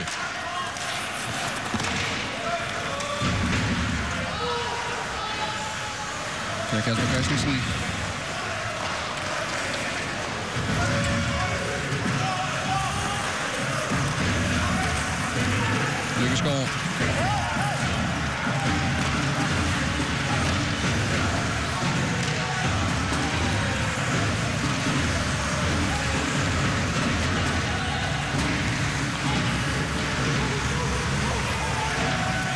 Husum.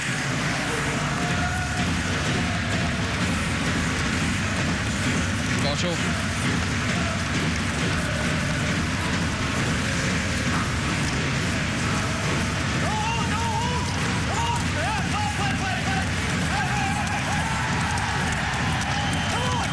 Parkerer Gotto i en duel nede bag mål. Nu mangler parker altså.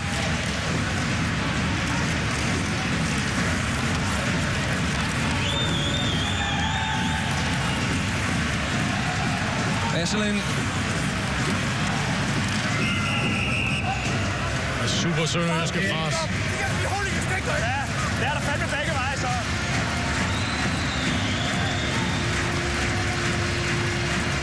Back in, back, please come here. I just give you advice. Take care of the holding over here, okay? And it's plastic. I just tell you. Der parkerer Gotto duellen.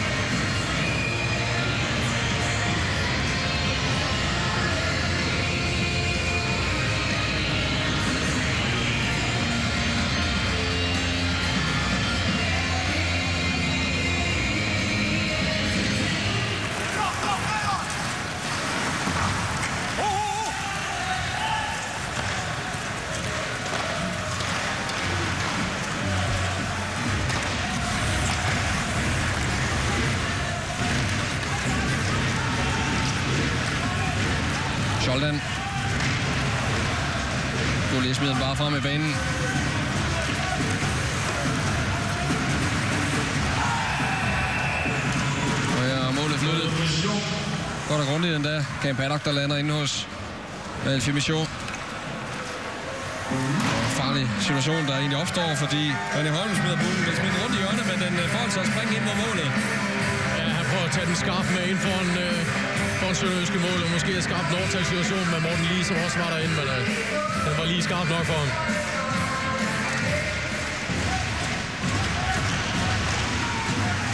Kommer en udvisning.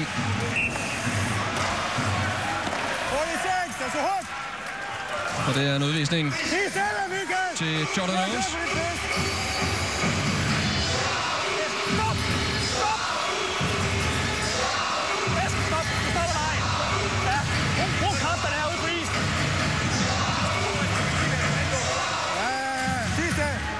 Get in the crease. To minutter til? Jordan Owens. Yeah, take care of all of it, okay? Also the roughing and all that stuff. Vel ikke helt en udvisning, der afspejler linjen for kampen i dag. En udvisning i kampen. Begge til Sønderjyske. Den første tager der godt så i første periode, og den her til Jordan Owens. Og dermed andet powerplay i kampen til Frederikshavn.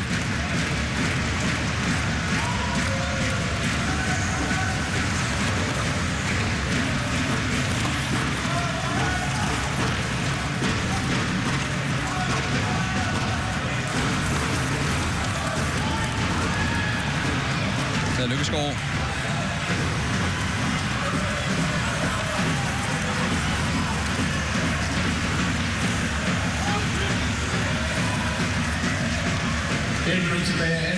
Kisum sidste minut af anden periode. En periode med forløb ved to scoringer. Først udligningen fra Sønderjyske Steffen Frank.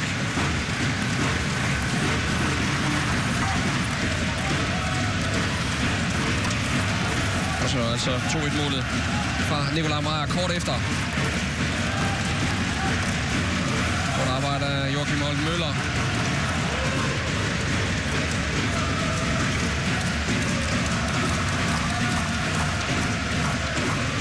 Kan være en lille, blive en lille fordel for Sønderjyske, at den her udvisning kommer til at foregå i både anden og tredje periode. De bliver delt op i perioderne. Der er ikke noget sammenhængende powerplay på den måde for Frederikshavn.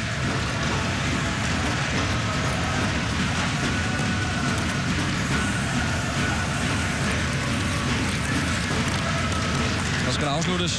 Og det bliver der også. Putten ligger derinde, og perioden slutter her. Sådan, Michael! Det kørt for hver gang!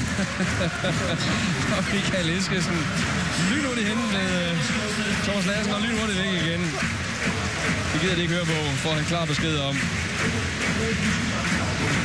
Ja, egentlig også fint nok, og formentlig noget dommerne snakker om. De gider ikke høre på alt muligt brok.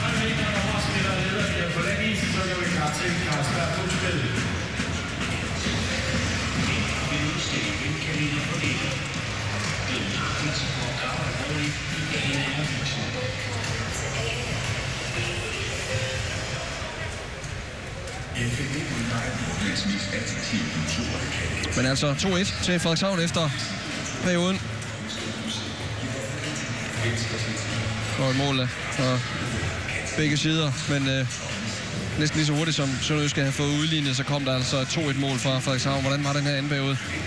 Sådan samlet, synes du, Lasse? Ja, men jeg synes, det var en super periode igen. Altså, det er underholdende, det er livligt, der er tempo, og vi, vi så mere intensitet og mere nærkamp og mere power i nærkamp med den her periode også. Skudstatikken samlet hedder 21-17 i øjeblikket, og det betyder altså 14 til Frederikshavn i den her periode, og, og 12 til Sønderjyske. På et tidspunkt var det faktisk Sønderjyske, der var kommet foran og havde, havde haft flere skud på mål, øh, var foran med 3-4 skud i, i skudstatistikken i perioden, og så kommer Frederikshavn tilbage efter øh, 2-1-målet også og, og bliver lidt ved. Øh, er det sådan et udtryk for, hvordan perioden også var? Ja, det synes jeg, Levi. Jeg synes, øh, Sønderjysk har været bedre til i den her periode at få hældt flere pukke på mål, for at afslutte deres angreb, som øh, Simeone var inde på. Og, og øh, udligningen til 1-1 var jo også netop et, Øh, et, øh, et udtryk for, at de fik lagt tre pukke på mål hurtigt efter hinanden, og lige pludselig så der hopper den altså ind. Ja, og altså en øh, 2-1-kamp efter to perioder. Man kan vel godt tillade sig at sige, at det er præcis lige så tæt, som vi havde både troet og, og håbet på. Øh, en kamp, der hedder 1-0, 1-1 og 2-1, som, øh, og Sønderjyske med mulighed også for, for 2-2, som hele tiden er så tæt. Ja, de har haft mange chancer. Sønderjysk også. Odense har været igennem to gange, hvor han kommer godt ind, og hvor returen også er der og så videre. Og der er chancer i den anden ende. Altså, det er de der helt, helt små marginaler, og hvem vil det mest, og hvem vinder kampene foran mål. Når jeg kigger ud over isen her, så skal den altså laves frisk til en uh, tredje periode. Det her er bestemt ikke afgjort endnu, og bliver det uafgjort efter den her kamp, så er det jo det velkendte overtidsformat med nye perioder af 20 minutter, helt indtil der er fundet en afgørelse. Vi kommer tilbage her med højdepunkter om et øjeblik og snakker meget mere om den anden periode, som vi lige har set. 2-1-føring altså til Frederikshavn Whitehawks over gæsterne fra Sønderjyske. Vi ses lige om lidt direkte her i. Velkommen tilbage her til Frederikshavn. Vi er i fuld gang med første finale i bedste af syv serien Frederikshavn Whitehawks altså mod Sønderjyske i kampen om det danske mesterskab her anno 2013. Og efter to perioder, 2-1-føring til hjemmeholdet fra Frederikshavn. Og det har været en øh, tæt finale. Det har været en, der har skiftet lidt sådan med chancer i den ene ende og så i den anden, som vi også talte om, man kunne se på skudstatistikken. Men altså en spinkel føring til Frederikshavn. Er det okay, Lasse? Ja, det synes jeg, men der kunne lige så godt stå 3-2 til Sønderjyske. Det har været tæt, og det viser måltavlen også. Det er de helt små ting, der kommer til at afgøre det her. Højdepunkterne kan vi jo kigge på fra denne anden periode. Et par scoringer, men også lidt andet. Og her er situationen. Steffen Frank, putten ind her, og det skal der altså videomåldommer til at afgøre. Og han havde eksempelvis disse billeder at kigge på. Nikolaj Nedermark rammer lige pukken, poker derinde omkring målstregen, kunne vi se her. Og så viser billedet her altså, at han er inde over stregen der. Mere præcist her, der er pukken allerlængst inde, og altså lige et par sekunder over stregen. Målscoren her, Steffen Frank, udligning til 1-1. Og jo god vilje fra Frank på det mål. Og så kort efter, Nedermark og Meier og ind til Frederikshavn, Nikolaj Meier. Ja, lidt tilfældige pukke og lidt pingpong og Andrews på mellemhånd, men god vilje her. Og Frederikshavns tredje kæde, der endnu en gang slår til. Ja, de er blå og hvide. Og så her i Odense, vi ser ham altså flere gange i dag med super fart. Overløber Sholidan. Vinder nærkampen.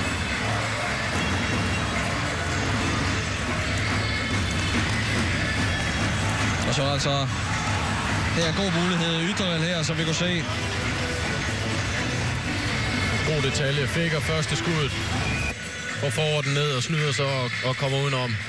Også svært for Michaud skal lige flytte sig en ekstra gang, men øh, holder positionen fint. Vi talte meget om de her øh, tredje kæder, og vi så øh, målet her, energimålet kan man sige, hvor Nikolaj Nedermark får skubbet pukken over til Nikolaj Meier. Og man kan sige om den tredje kæde hos Frederikshavn er sidste kisum, altså her var det Nedermark Meier. Øh, med tre kokke i Meiers køkken, det er lige præcis, hvad der skaber noget godt i, i den situation. Og i hele slutspillet, hvad er det med, med den tredje kæde, og i øvrigt også Sønderjyskes, som gør forskellen i forhold til de øvrige hold, Lasse? Du sagde, at der er markant forskel på antallet af scorer mål.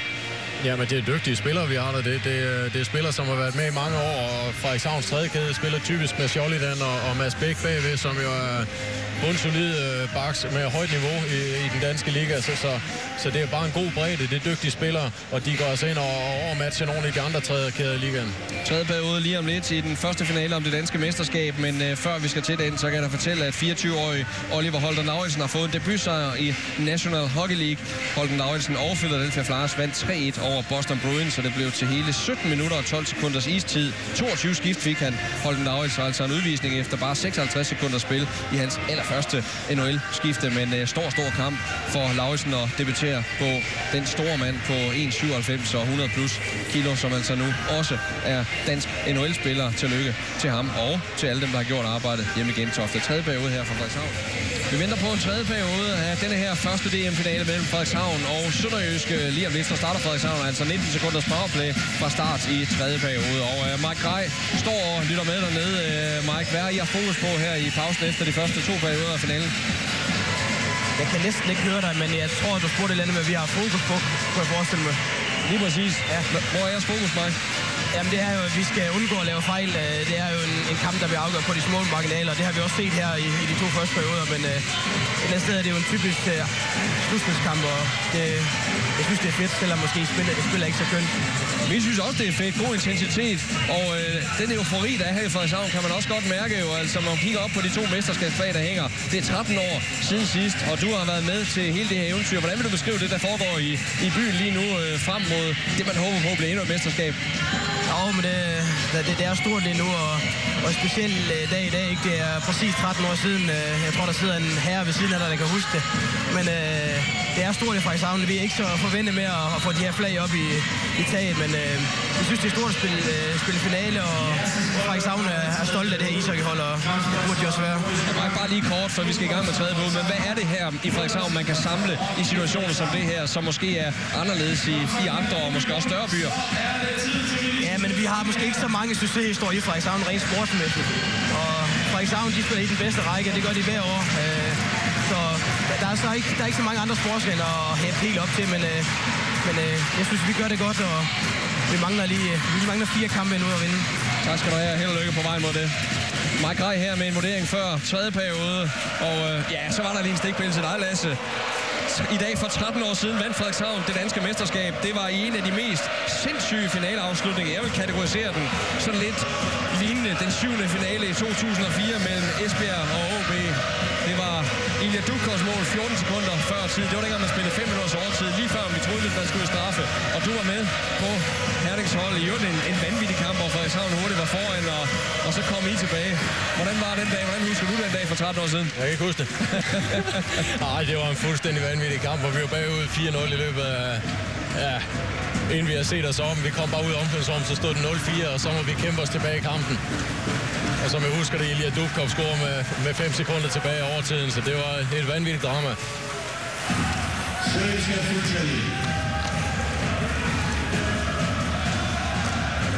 Sønderjyske fuldtallig her fra start i tredje periode.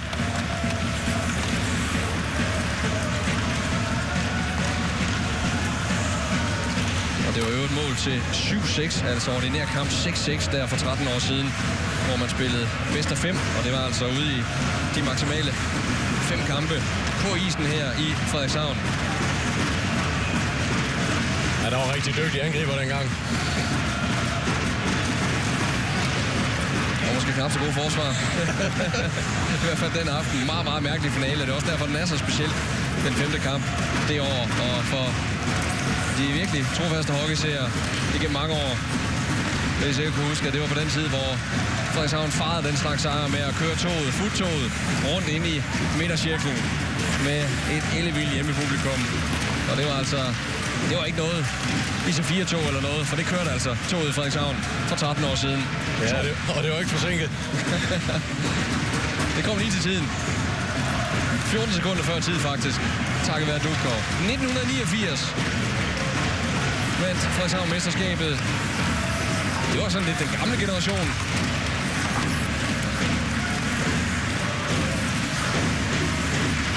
Pelle Pedersen og company, og så altså finale med OB her, og Nedermark tæt på. En rigtig god aflevering bag mål fra, fra Nikolaj Meyer, men også en, en skidt markering foran mål. Skal altså helt ind og stå tæt på. Løft på modspilleren. Og noget af det, der er specielt, Lasse, synes jeg ved den her serie, det er, at vi har sådan to byer, hvor man formår at virkelig at samle sig. Både Frederikshavn og Vojens er jo steder, hvor hockey betyder utrolig meget. Som Mark Greis siger, måske har vi ikke så meget andet i Frederikshavn. Sportslige succeshistorier. Det er årtier siden, man var med fremme i, i fodboldrækken. Håndbold har man med mellemrum været med fremme. Men sportsholdet flagskibet, det er altså hockeyholdet her. Hvor der kommer en udvisning til Frederikshavn. Og det er lidt det samme i Vojens, hvor man godt nok har Sønderjyske og Superliga-status i fodbold og så videre. Men de rykker altså sammen i bussen og har massiv opbakning, når de kommer langt. Ja, det er rigtigt. Der er, der er virkelig højkultur i de her to byer. Det er de lidt mindre samfund, jamen der rykker man altså sammen som by, og man kan mærke det hele, hele summer op til sådan en finale her. Og ikke noget at sige til den, den hooking her. Til Rasmus Bjerg som lænede sig lidt op af en udvisning allerede i første periode. God tænding i hvert fald hos Bjerrum i dag. Det kan man ikke udsætte noget på. Og powerplay til Sønderjyske.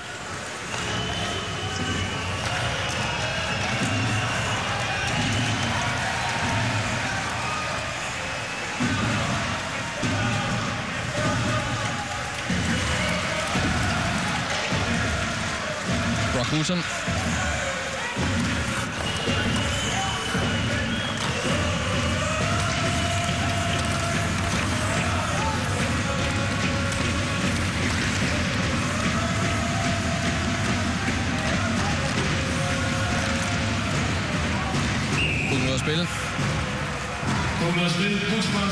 Bussponsor Okay.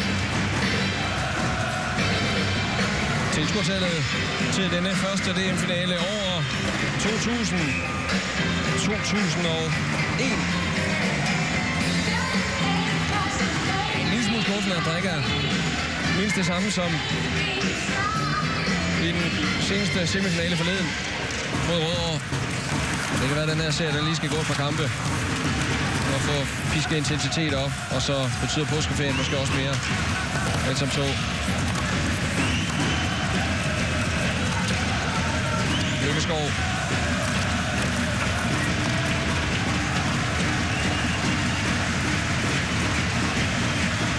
Ja, dejligt aggressiv boksspil øh, af Frederikshavn. Det stresser, når de får muligheden.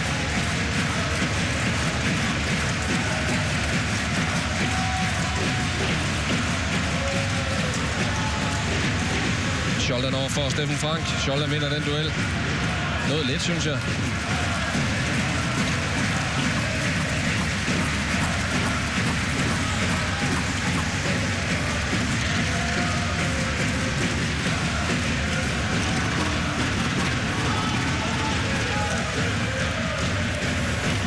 Sønderjyske spillerne skøjter ganske enkelt ikke nok. Der er Morten Lige, han skøjter. 10 sekunder til Rasmus Bjerg kommer ind, og Frederikshavn bliver fuldtallig. Det er meget, meget fint undersendt og det er slet ikke godt nok af Sønderjyske, det de leverer i denne powerplay.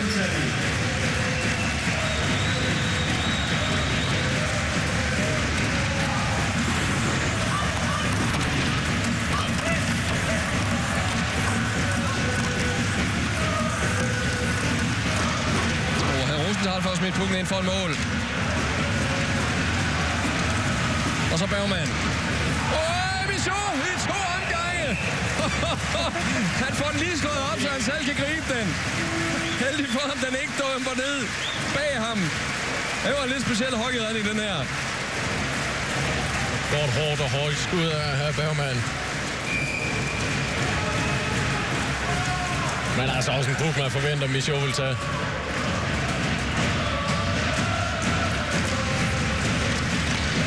Rigtig tv-redning. Ja, det var det. Og endnu en redning fra ham.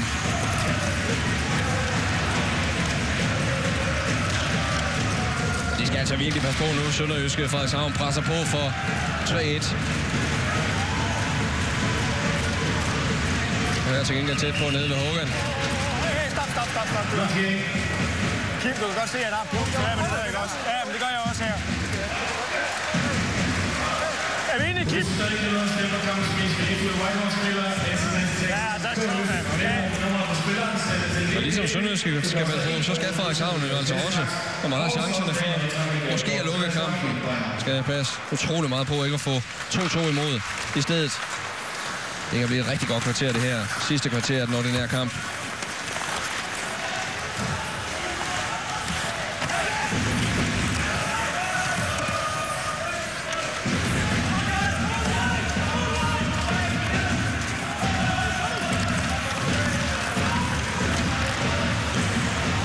Tæt på, returen ligger derinde, men er også godt oppasning fra Nikolaj Nedermark.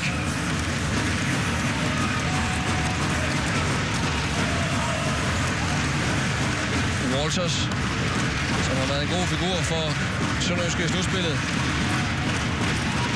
En by af assister. Og krydder med et par mål. Sad ude lidt skadet, men da han kom tilbage, så begyndte der altså at ske noget allerede i kvartfinalserien mod Esbjerg. Og var så med hele vejen i semifinalerne mod Odense. Ja, det så ud til at holdet vokse, da, da Walters kom tilbage.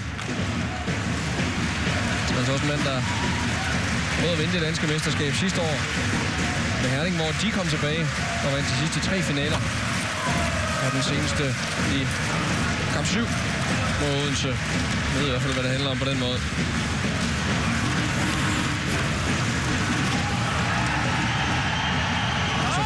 Ken Patter bliver ramt af en stav. Løber sammen med Steffen Frank.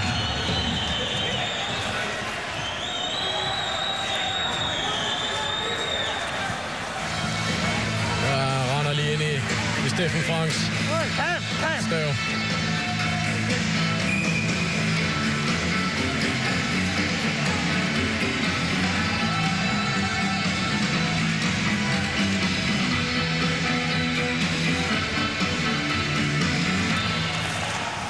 Sidder lige over og skifte. Derfor Kristoffer Jonsson, der kommer ind. Okay.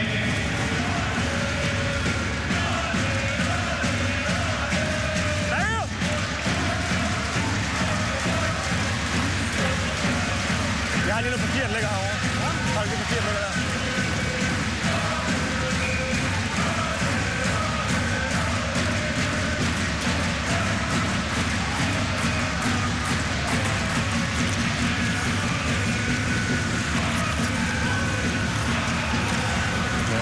Forbi afstanderen. Afslutning fra Asselin.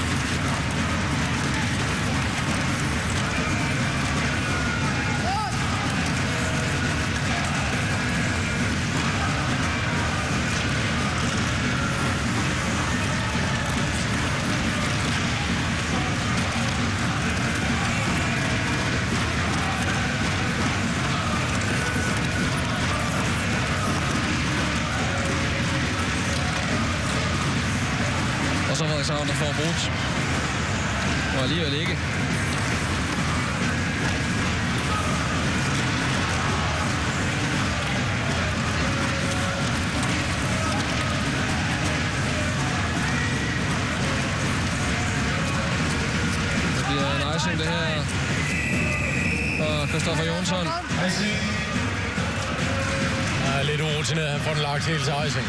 Han havde faktisk masser af tid. Det er rigtig godt sønderjyske pres her.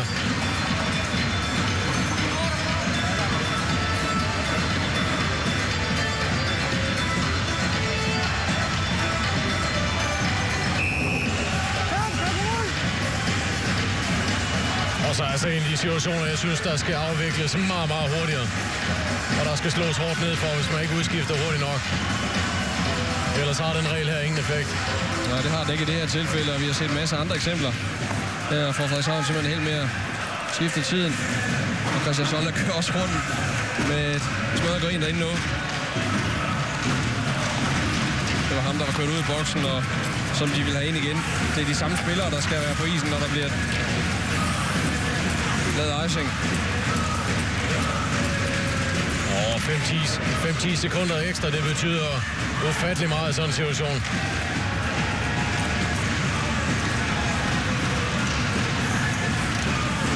Owens. Ja, de kommer tættere på Sønderjyske. Frederikshavn har svært ved at få den ud af egen zone.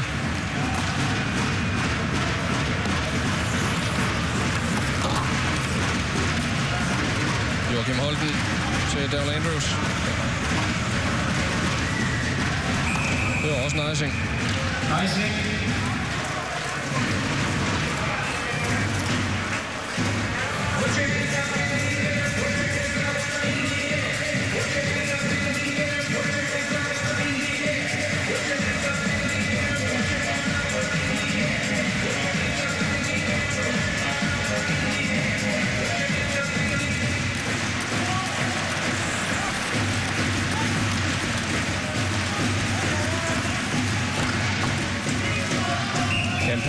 Tilbage på isen. For at sende Puglen ud af spil.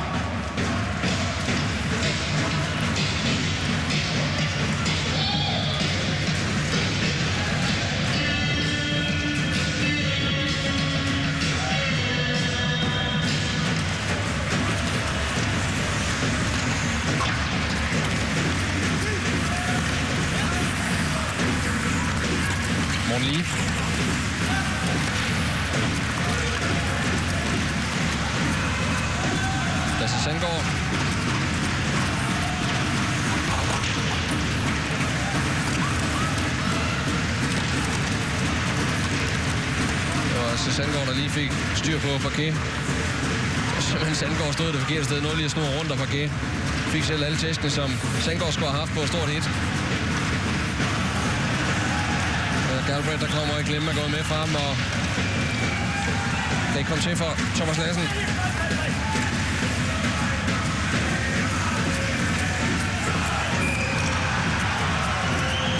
Ja, en situation, hvor det ikke så ud til, at puglen var ude. Ah, det så ikke sådan ud herfra.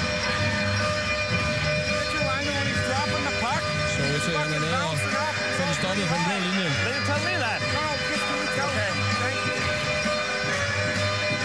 Nu har vi situationen ude til højre billedet, og altså lige uden for billedbeskæringen.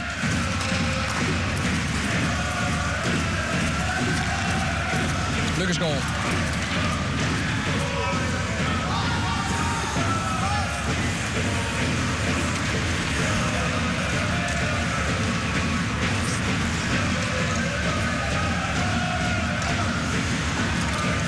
Brock Houghton.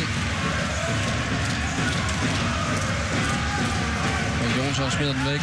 Man kan jo sagtens forestille sig, at Frederikshavn nu vil tænke ekstremt meget på den disciplin, som vi har talt så ofte om. Mads Bæk. Virkelig farlig hit, han fik i første periode, eller en grim situation, eller i anden periode det hele taget. En farlig situation bare. Situation, hvor Mads Bæk han kunne ind i banden. Virkelig godt at se, at han ikke kom noget til i den situation.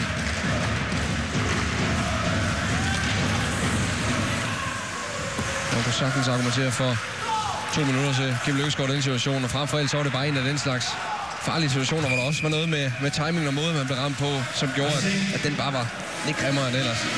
Ja, skal man være lidt hård, så, så synes jeg, de har holdt en rigtig fin linje i dag, dommerne, og, og man kunne da have skåret ned til, ifølge hvad jeg synes måske, at det skulle have været den eneste udvisning, der var dømt indtil nu.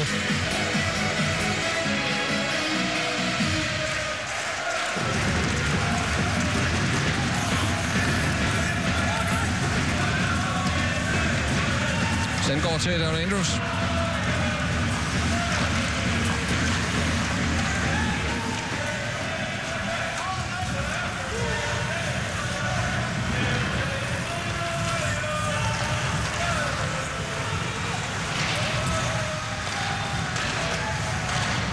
Goulet styrer bare på videre ind.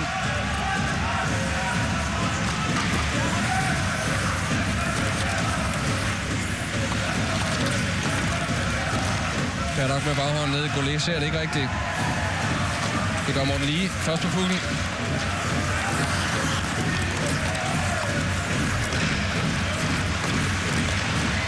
Jonsson, og så offside i målfeltet med Goulet. Der står der inden reglen er, at man ikke må være derinde før pukken. Come on, Mario! Gengæld må man godt komme derind, når pukken er derinde. Øh, så kunne det nogle gange være svært at score. Der er nogle gange nogen, der blander de to ting sammen. Havde en situation, Patter stod jo også afgørende mål forleden inde i målfeltet. Men øh, der var pukken altså derinde.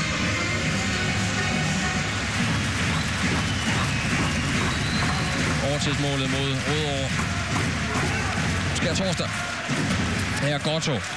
8 minutter har Sønderjyske i jagten på udligning her i første DM-finale. Godt taget ned det her Brock Hutton. Og så får han lavet for langt træk.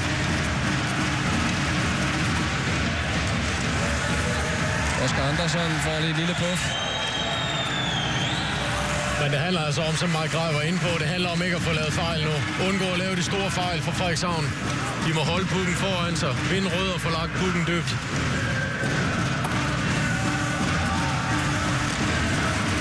Jonsson eller Yttervald, der får et stort hit faktisk præcis samme sted og fra samme vinkel som den for Daugalis i torsdags. Den her er dog ikke lige så hård. Kisum.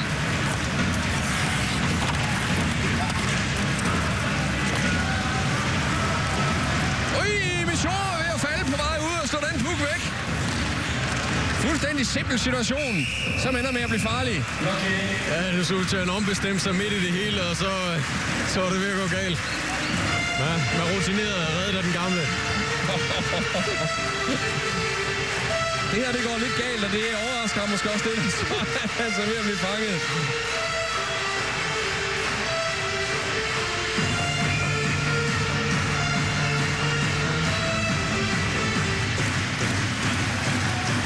Gullet prøver samme nummer, som han gjorde forleden. Præcis kopi, bortset fra, at der ikke var så meget plads på den her, og lige så meget fart fra ham. Men lavede et lignende mål torsdag aften mod Rødovre. Andrews venter på holdkammeraterne. Mary Simeone står og slår ud med armene over i boksen. Jeg tror gerne, han ville have, at den skulle have været sat i spil noget hurtigere.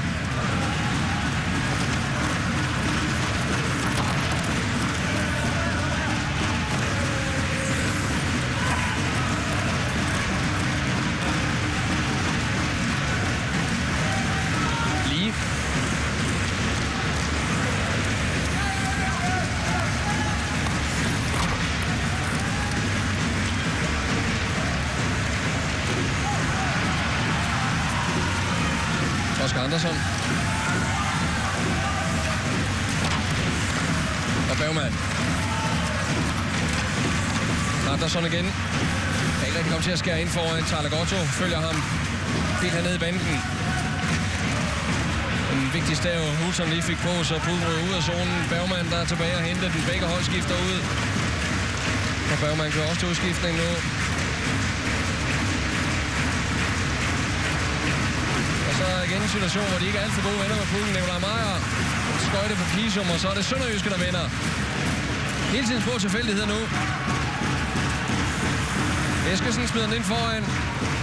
Jo, men nogle af de her små marginaler fra Frederikshavn, den puk skal ikke lægges ind midt i banen. Ind midt i zonen, den skal bare holdes ned. Lægge en blød puk ned på bag og mål, og så tage den derfra. Der er 6 minutter tilbage i den her periode. Af kampen måske.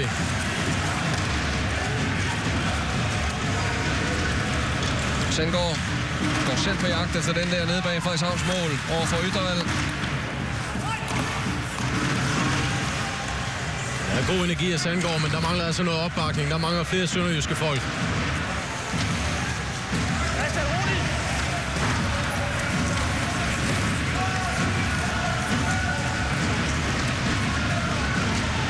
Steffen Frank. Oh, og den tager Mads Bæk altså lige med kroppen.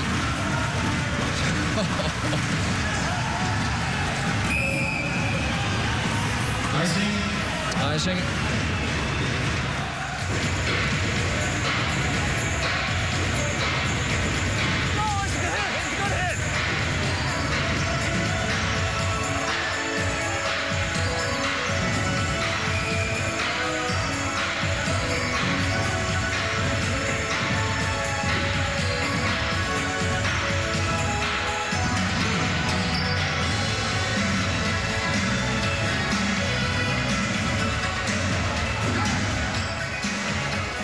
Fægter lige.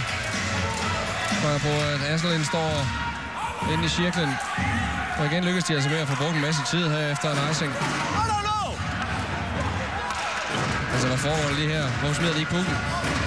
Det er igen en uh, icing-situation. Okay, no, it's not bleeding. It's okay. Come on, we're going. Ja, og så er pulsen ned omkring 130, og man kan køre igen. 45 sekunder. Skidt. Meget skidt.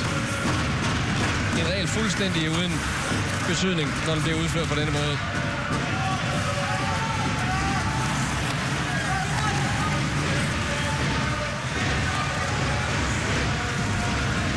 Og den kan Asle ikke gå frem til, og så er det icing den anden vej. Men nu har vi været efter dommeren. Det er jo lige så høj grad træner og spillere, som udnytter, at der ikke bliver slået ned over for det, og, og holder igen og holder igen. Ja, fordi de gør alt, hvad de overhovedet kan for at trække den forkerte retning. Det er simpelthen en kultur, man er nødt til at gå op med. Og ellers så må de gå ind og give advarsler før og give nogle holdstraffe, så de virkelig forstår det. Det er fuldstændig imod det, man gerne vil, både med tempoet i kampafvikling og selvfølgelig det primære med at få straffet det hold, der laver en icing, og som skal blive på isen, så man ikke kan stå og blive frisk derinde. Altså Sønderjyske, der skal have vundet rød linje nu, de skal have nogle pukkedøfter, så skal de have noget aggressivitet i forsjekkingen. Rosenthal fisker den her puk. Men han er helt alene. Igen. En Sønderjysk spiller alene. Stor fejl af Rasmus Søndergaard. Han koster ikke. Bergmann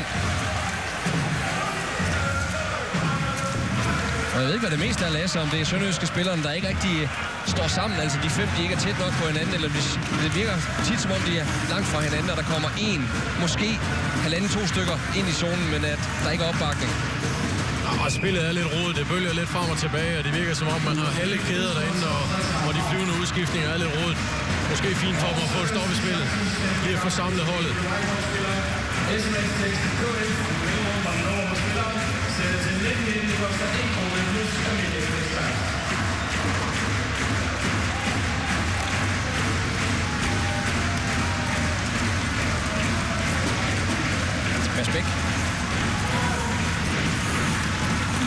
Amager smider fuglen ned. Målscoren til 2-1 kan altså ende som matchvinder. Det går scoret helt tilbage efter 7 minutter anden periode.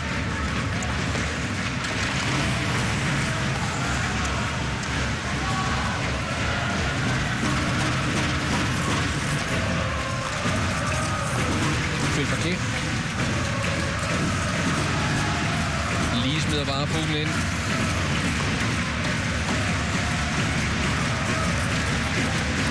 Kan man i hvert fald ikke anklage Morten lige for noget som helst. Men det får falde lidt af den slags. Han har gjort sit job i kæden med Kæm Haddock og Stefan Goulet. Stefan Frank kommer ud til den her i duel med Morten Lee, der trækker sig tilbage for måske mest at være en støtte hjemad. Men der er så også en Simeoni, der giver tid til Lasse Sandgaard og Henrik Nielsen. To minutter før lukketid.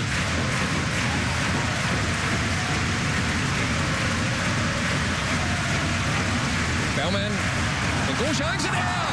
God redning fra Mishuda lige for lappen på. Brock Hutton. Rosenthal går på mål. Han er faktisk tæt på at kan ramme med baghånden derinde. De sidste to minutter. Sønderjysk skal have pukken ned. De skal måske også søge spilstop. Og få en timeout og få mission ud på et tidspunkt. Oscar Andersson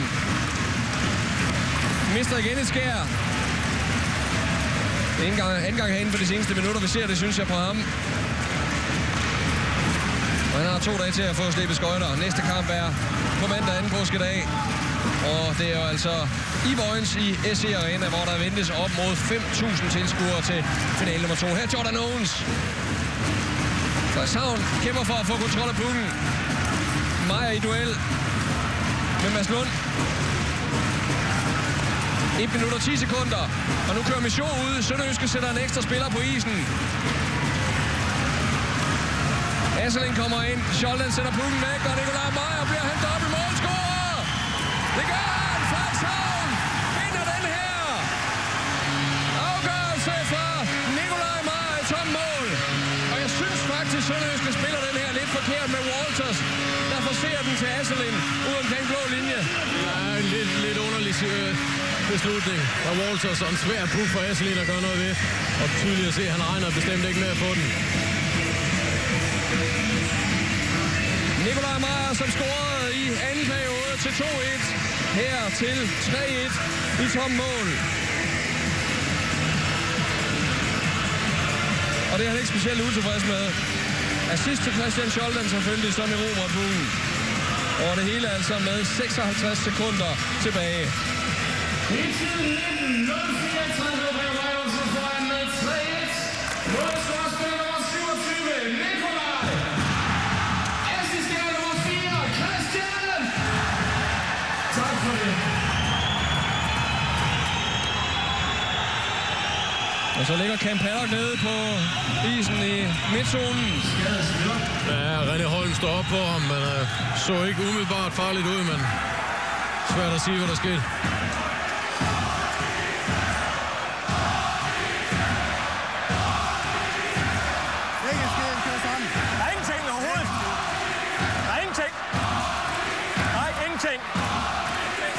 Situationen. Velkommen alle sammen. René Holm Jeg Paddock. har taget stilling allerede, det er ikke nødvendigt. Han bliver ramt lidt af, Ja, helt korrekt. lidt af albuen, skulderen på, på siden af hjelmen.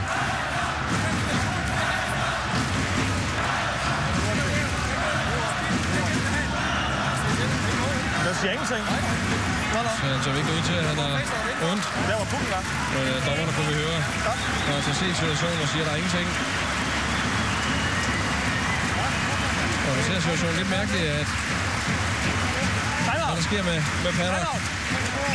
Måske er han bare blevet ramt ekstremt uheldigt, for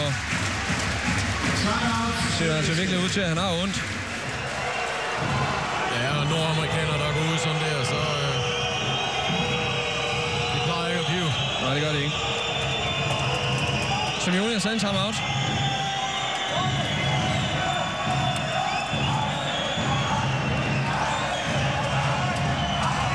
What we got. All right. Okay. Let's go on. Try and get the puck to the wall or up to this defenseman, okay? It's, you're walking it, dots, you slide out, okay? And ju- you're to the net, you're to the net, you're to the net, and Owen slides out here. We go for a one-timer here or a one-timer from there, okay? Michael! Michael! You walk, it's a one-timer to him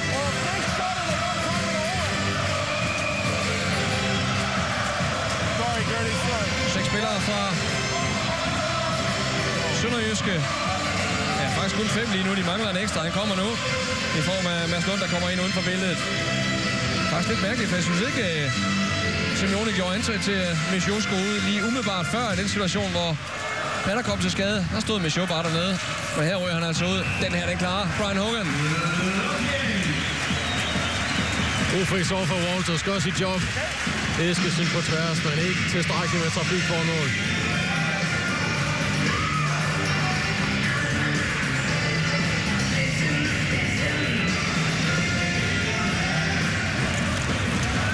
Gotto holder pukken inde. Mads Bæk kommer lige til at ramme dommeren. Så pukken bliver dernede. Og så Scholdan. Så er der altså måske mulighed for endnu en kasse. Ah, Gotto er hurtigt tilbage. Frederikshavn vinder pukken, og det handler ikke for dem nødvendigvis om at få et ekstra mål. Det handler bare hele tiden om at få pukken væk. Og det får de altså her i de sidste sekunder. Frederikshavn skal bare have det her neutraliseret.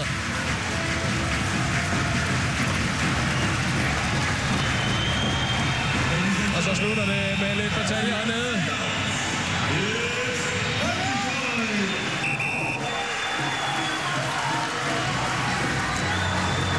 Og tilløb til det hernede i duellen.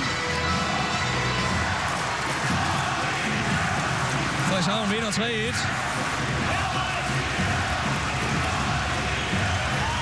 Og jubel her i Frederikshavn over den første finalesejr. Slut. Sønderjylland har allerede stort set forladt isen. Lars Siversen og Mike Guy triumferer her i første finale.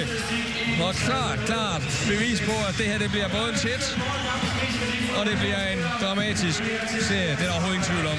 Nej, det er en super kamp, vi har set i dag. Det har været underholdende, det har været intens og dramatisk. Men jeg synes, uh, Frederikshavn kommer ud og spiller en rigtig god, grundsolid tredje periode.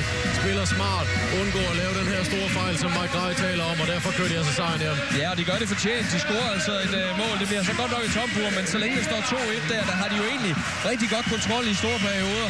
Og Sønderjyske kommer ikke. Selvfølgelig har de chancer, selvfølgelig er der små tilløb til noget, men de kommer ikke med det der store tryk, hvor man bare sidder og venter. Ah, nu skal Hågen altså stå på hovedet, for at det ikke bliver 2-2. Ah, de, de får presset Frederikshavn rigtig hårdt i bunden lige en periode på, på 2, 3, 4 minutter fra 8. til 11. minut eller sådan noget cirka. Derefter så har Frederikshavn faktisk kontrol over kampen, og de formår ikke rigtig at få presset med bunden derefter. Og de jubler selvfølgelig over første stik, der skal fire til for at blive mester. Det er faktisk lige før, det er Morten Lihår, det her. Måske ikke lige helt på farven, men samme frisyr, stort set. Til gengæld har de altså ikke hans slutspilskæg. Det får man ikke lige. Men altså, for sin sejr, på sin vis til Frederikshavn, selvom det kunne gå begge veje, men effektivitet er også et stort nøgleord. Og de var altså skarpest i dag. Meyers mål til 2-1 blev det afgørende reelt. Selvom der altså også kom 1-3-1, som så gjorde Sønderjyske ja, nærmest øh, afgjorde kampen selvfølgelig, og der var altså for kort tid tilbage. Det 2-1-mål blev altså fuldstændig vitalt for det her opgør, Lasse. Ja, som der var snakket om inden kampen, det var små ting, der kom til at afgøre det. En lidt tilfældig puk, der ender hos Nikolaj Meyer. Han får scoret til 2-1. Som jeg var inde på, den kunne lige så godt stå 3-2 til Sønderjysk efter anden periode. Der er mange chancer i begge ender og godt spil. Men øh, Frederikshavn bedst i tredje periode. Ja, og dermed vinder de fortjent første finale. Nikolaj Meyer, tillykke med øh, sejren her i øh, første finale. Hvordan synes du, det var i den her finale i aften? Øh, jeg synes, øh, det var rigtig intens, og begge hold øh, taklede meget og kørte hårdt på hinanden. Øh, øh, jeg synes, det var en god første finale. Øh, vi kommer godt ud, synes jeg. Spillemæssigt var det sådan lidt op og ned. Nogle gange var det, var det rigtig godt, men det var i hvert fald underholdende og intenst og så videre. Deler du sådan lidt det? Altså, der var mange sådan tilfældige bukke, hvor det var mere et slagsmål om at vinde de nærkampe, end det måske var, var det poleret spil. Var det også sådan, I fornemmede det derinde? Ja, jeg er helt enig. Det er meget øh, hoppepluk i dag, og, og heldigvis hopper det til vores side, så det er vi rigtig glade for. Og i tredje periode var det jo rigtig meget sådan. Hvad handlede det for jer om i den her tredje periode, hvor I jo vidste, at Sønderjyske selvfølgelig ville komme og prøve? Ja, men øh, først skal vi jo lukke, øh, lukke øh, til, tilbage ud der, og, øh, og se om vi kan få det sidste mål også, at vi har afgjort kampen. Øh. Men vi står rigtig godt tilbage, og Hogan han, er, han står rigtig godt i dag, synes jeg.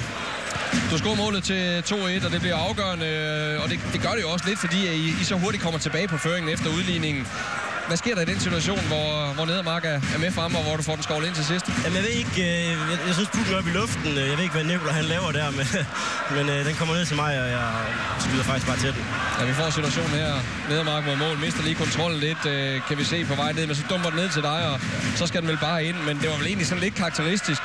Fordi der var andre chancer, og måske også nogle, der var lige så store. Men, men sådan lidt karakteristisk, som du siger, en hoppepuk, der, der dumper jeres vej i dag.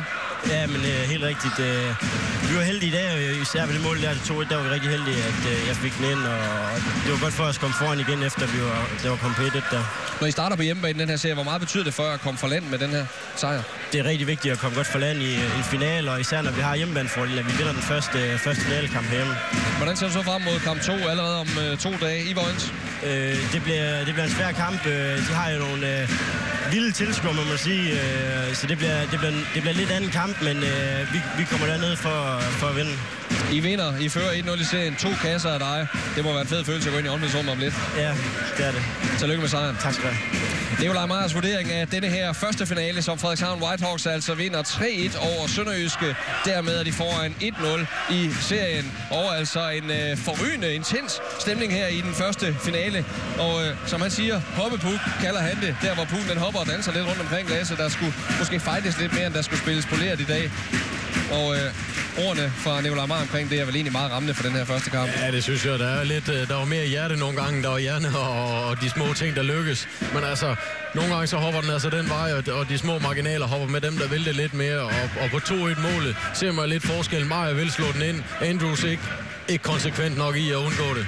Så de små ting, der afgør kampen de bitte små ting, og nu bitte en øh, lille pause, før vi er tilbage her med mere snak, highlights også, og selvfølgelig flere reaktioner på denne her første finale mellem Whitehawks og Sønderjyske 3-1 til Frederikshavn i første finale. De fører altså 1-0 i serien. Vi snakker mere om den her kamp lige om et øjeblik. Første DM-finale her i Frederikshavn, vundet af hjemmeholdet 3-1 over Sønderjyske. Et mål scoret et tomt mål i det sidste minut af Nikolaj Meyer afgjorde altså endegyldigt det her. Så jo reelt en, en 2-1-kamp, kan man sige, indtil afgørelsen kom der. Lasse, tæt. Hvordan var den her første finale, synes du?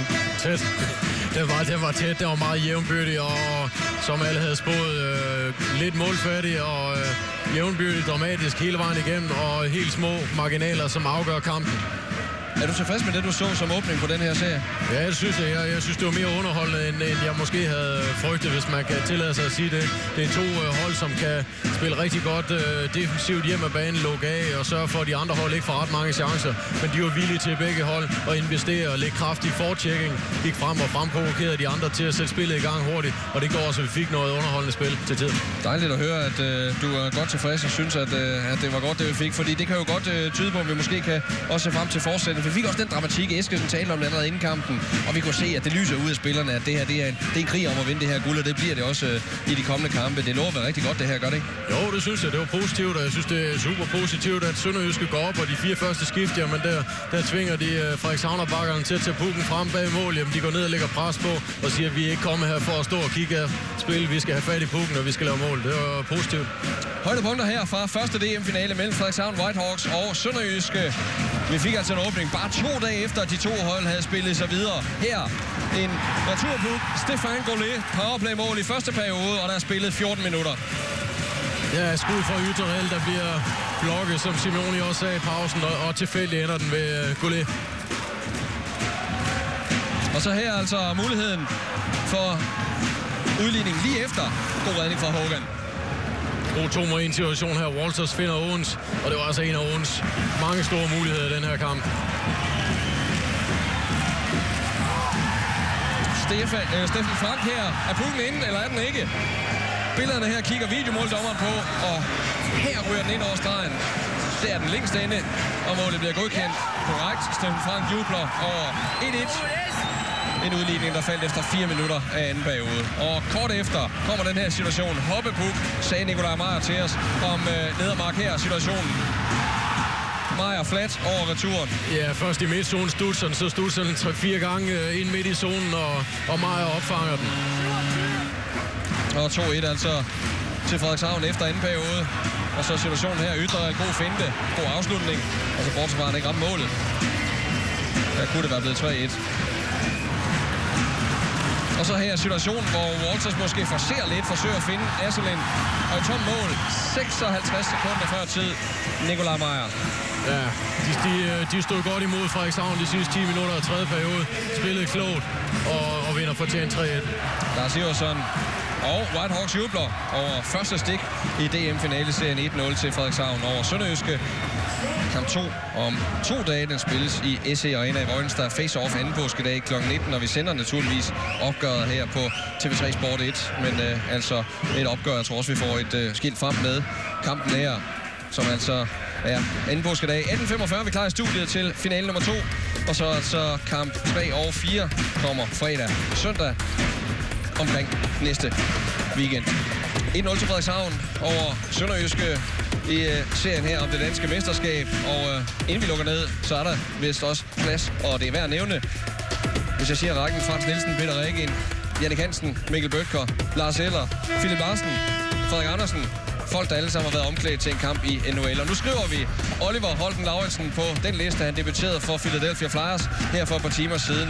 Og det var med en sejr på 3-1 over Boston Bruins. Så altså i alt otte danskere har nu været omklædt og ud til en NHL-kamp. Frederik Andersen har ikke spillet, men dog været med på bænken. Det er stort det her, og det fortsætter med DM-finaler. Det er også stort.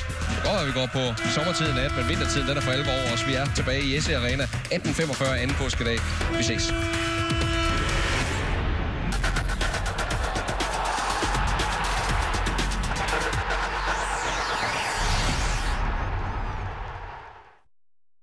AL Bank Ligaen på TV3 Sport præsenteres i samarbejde med Scandic og Ugerhøj.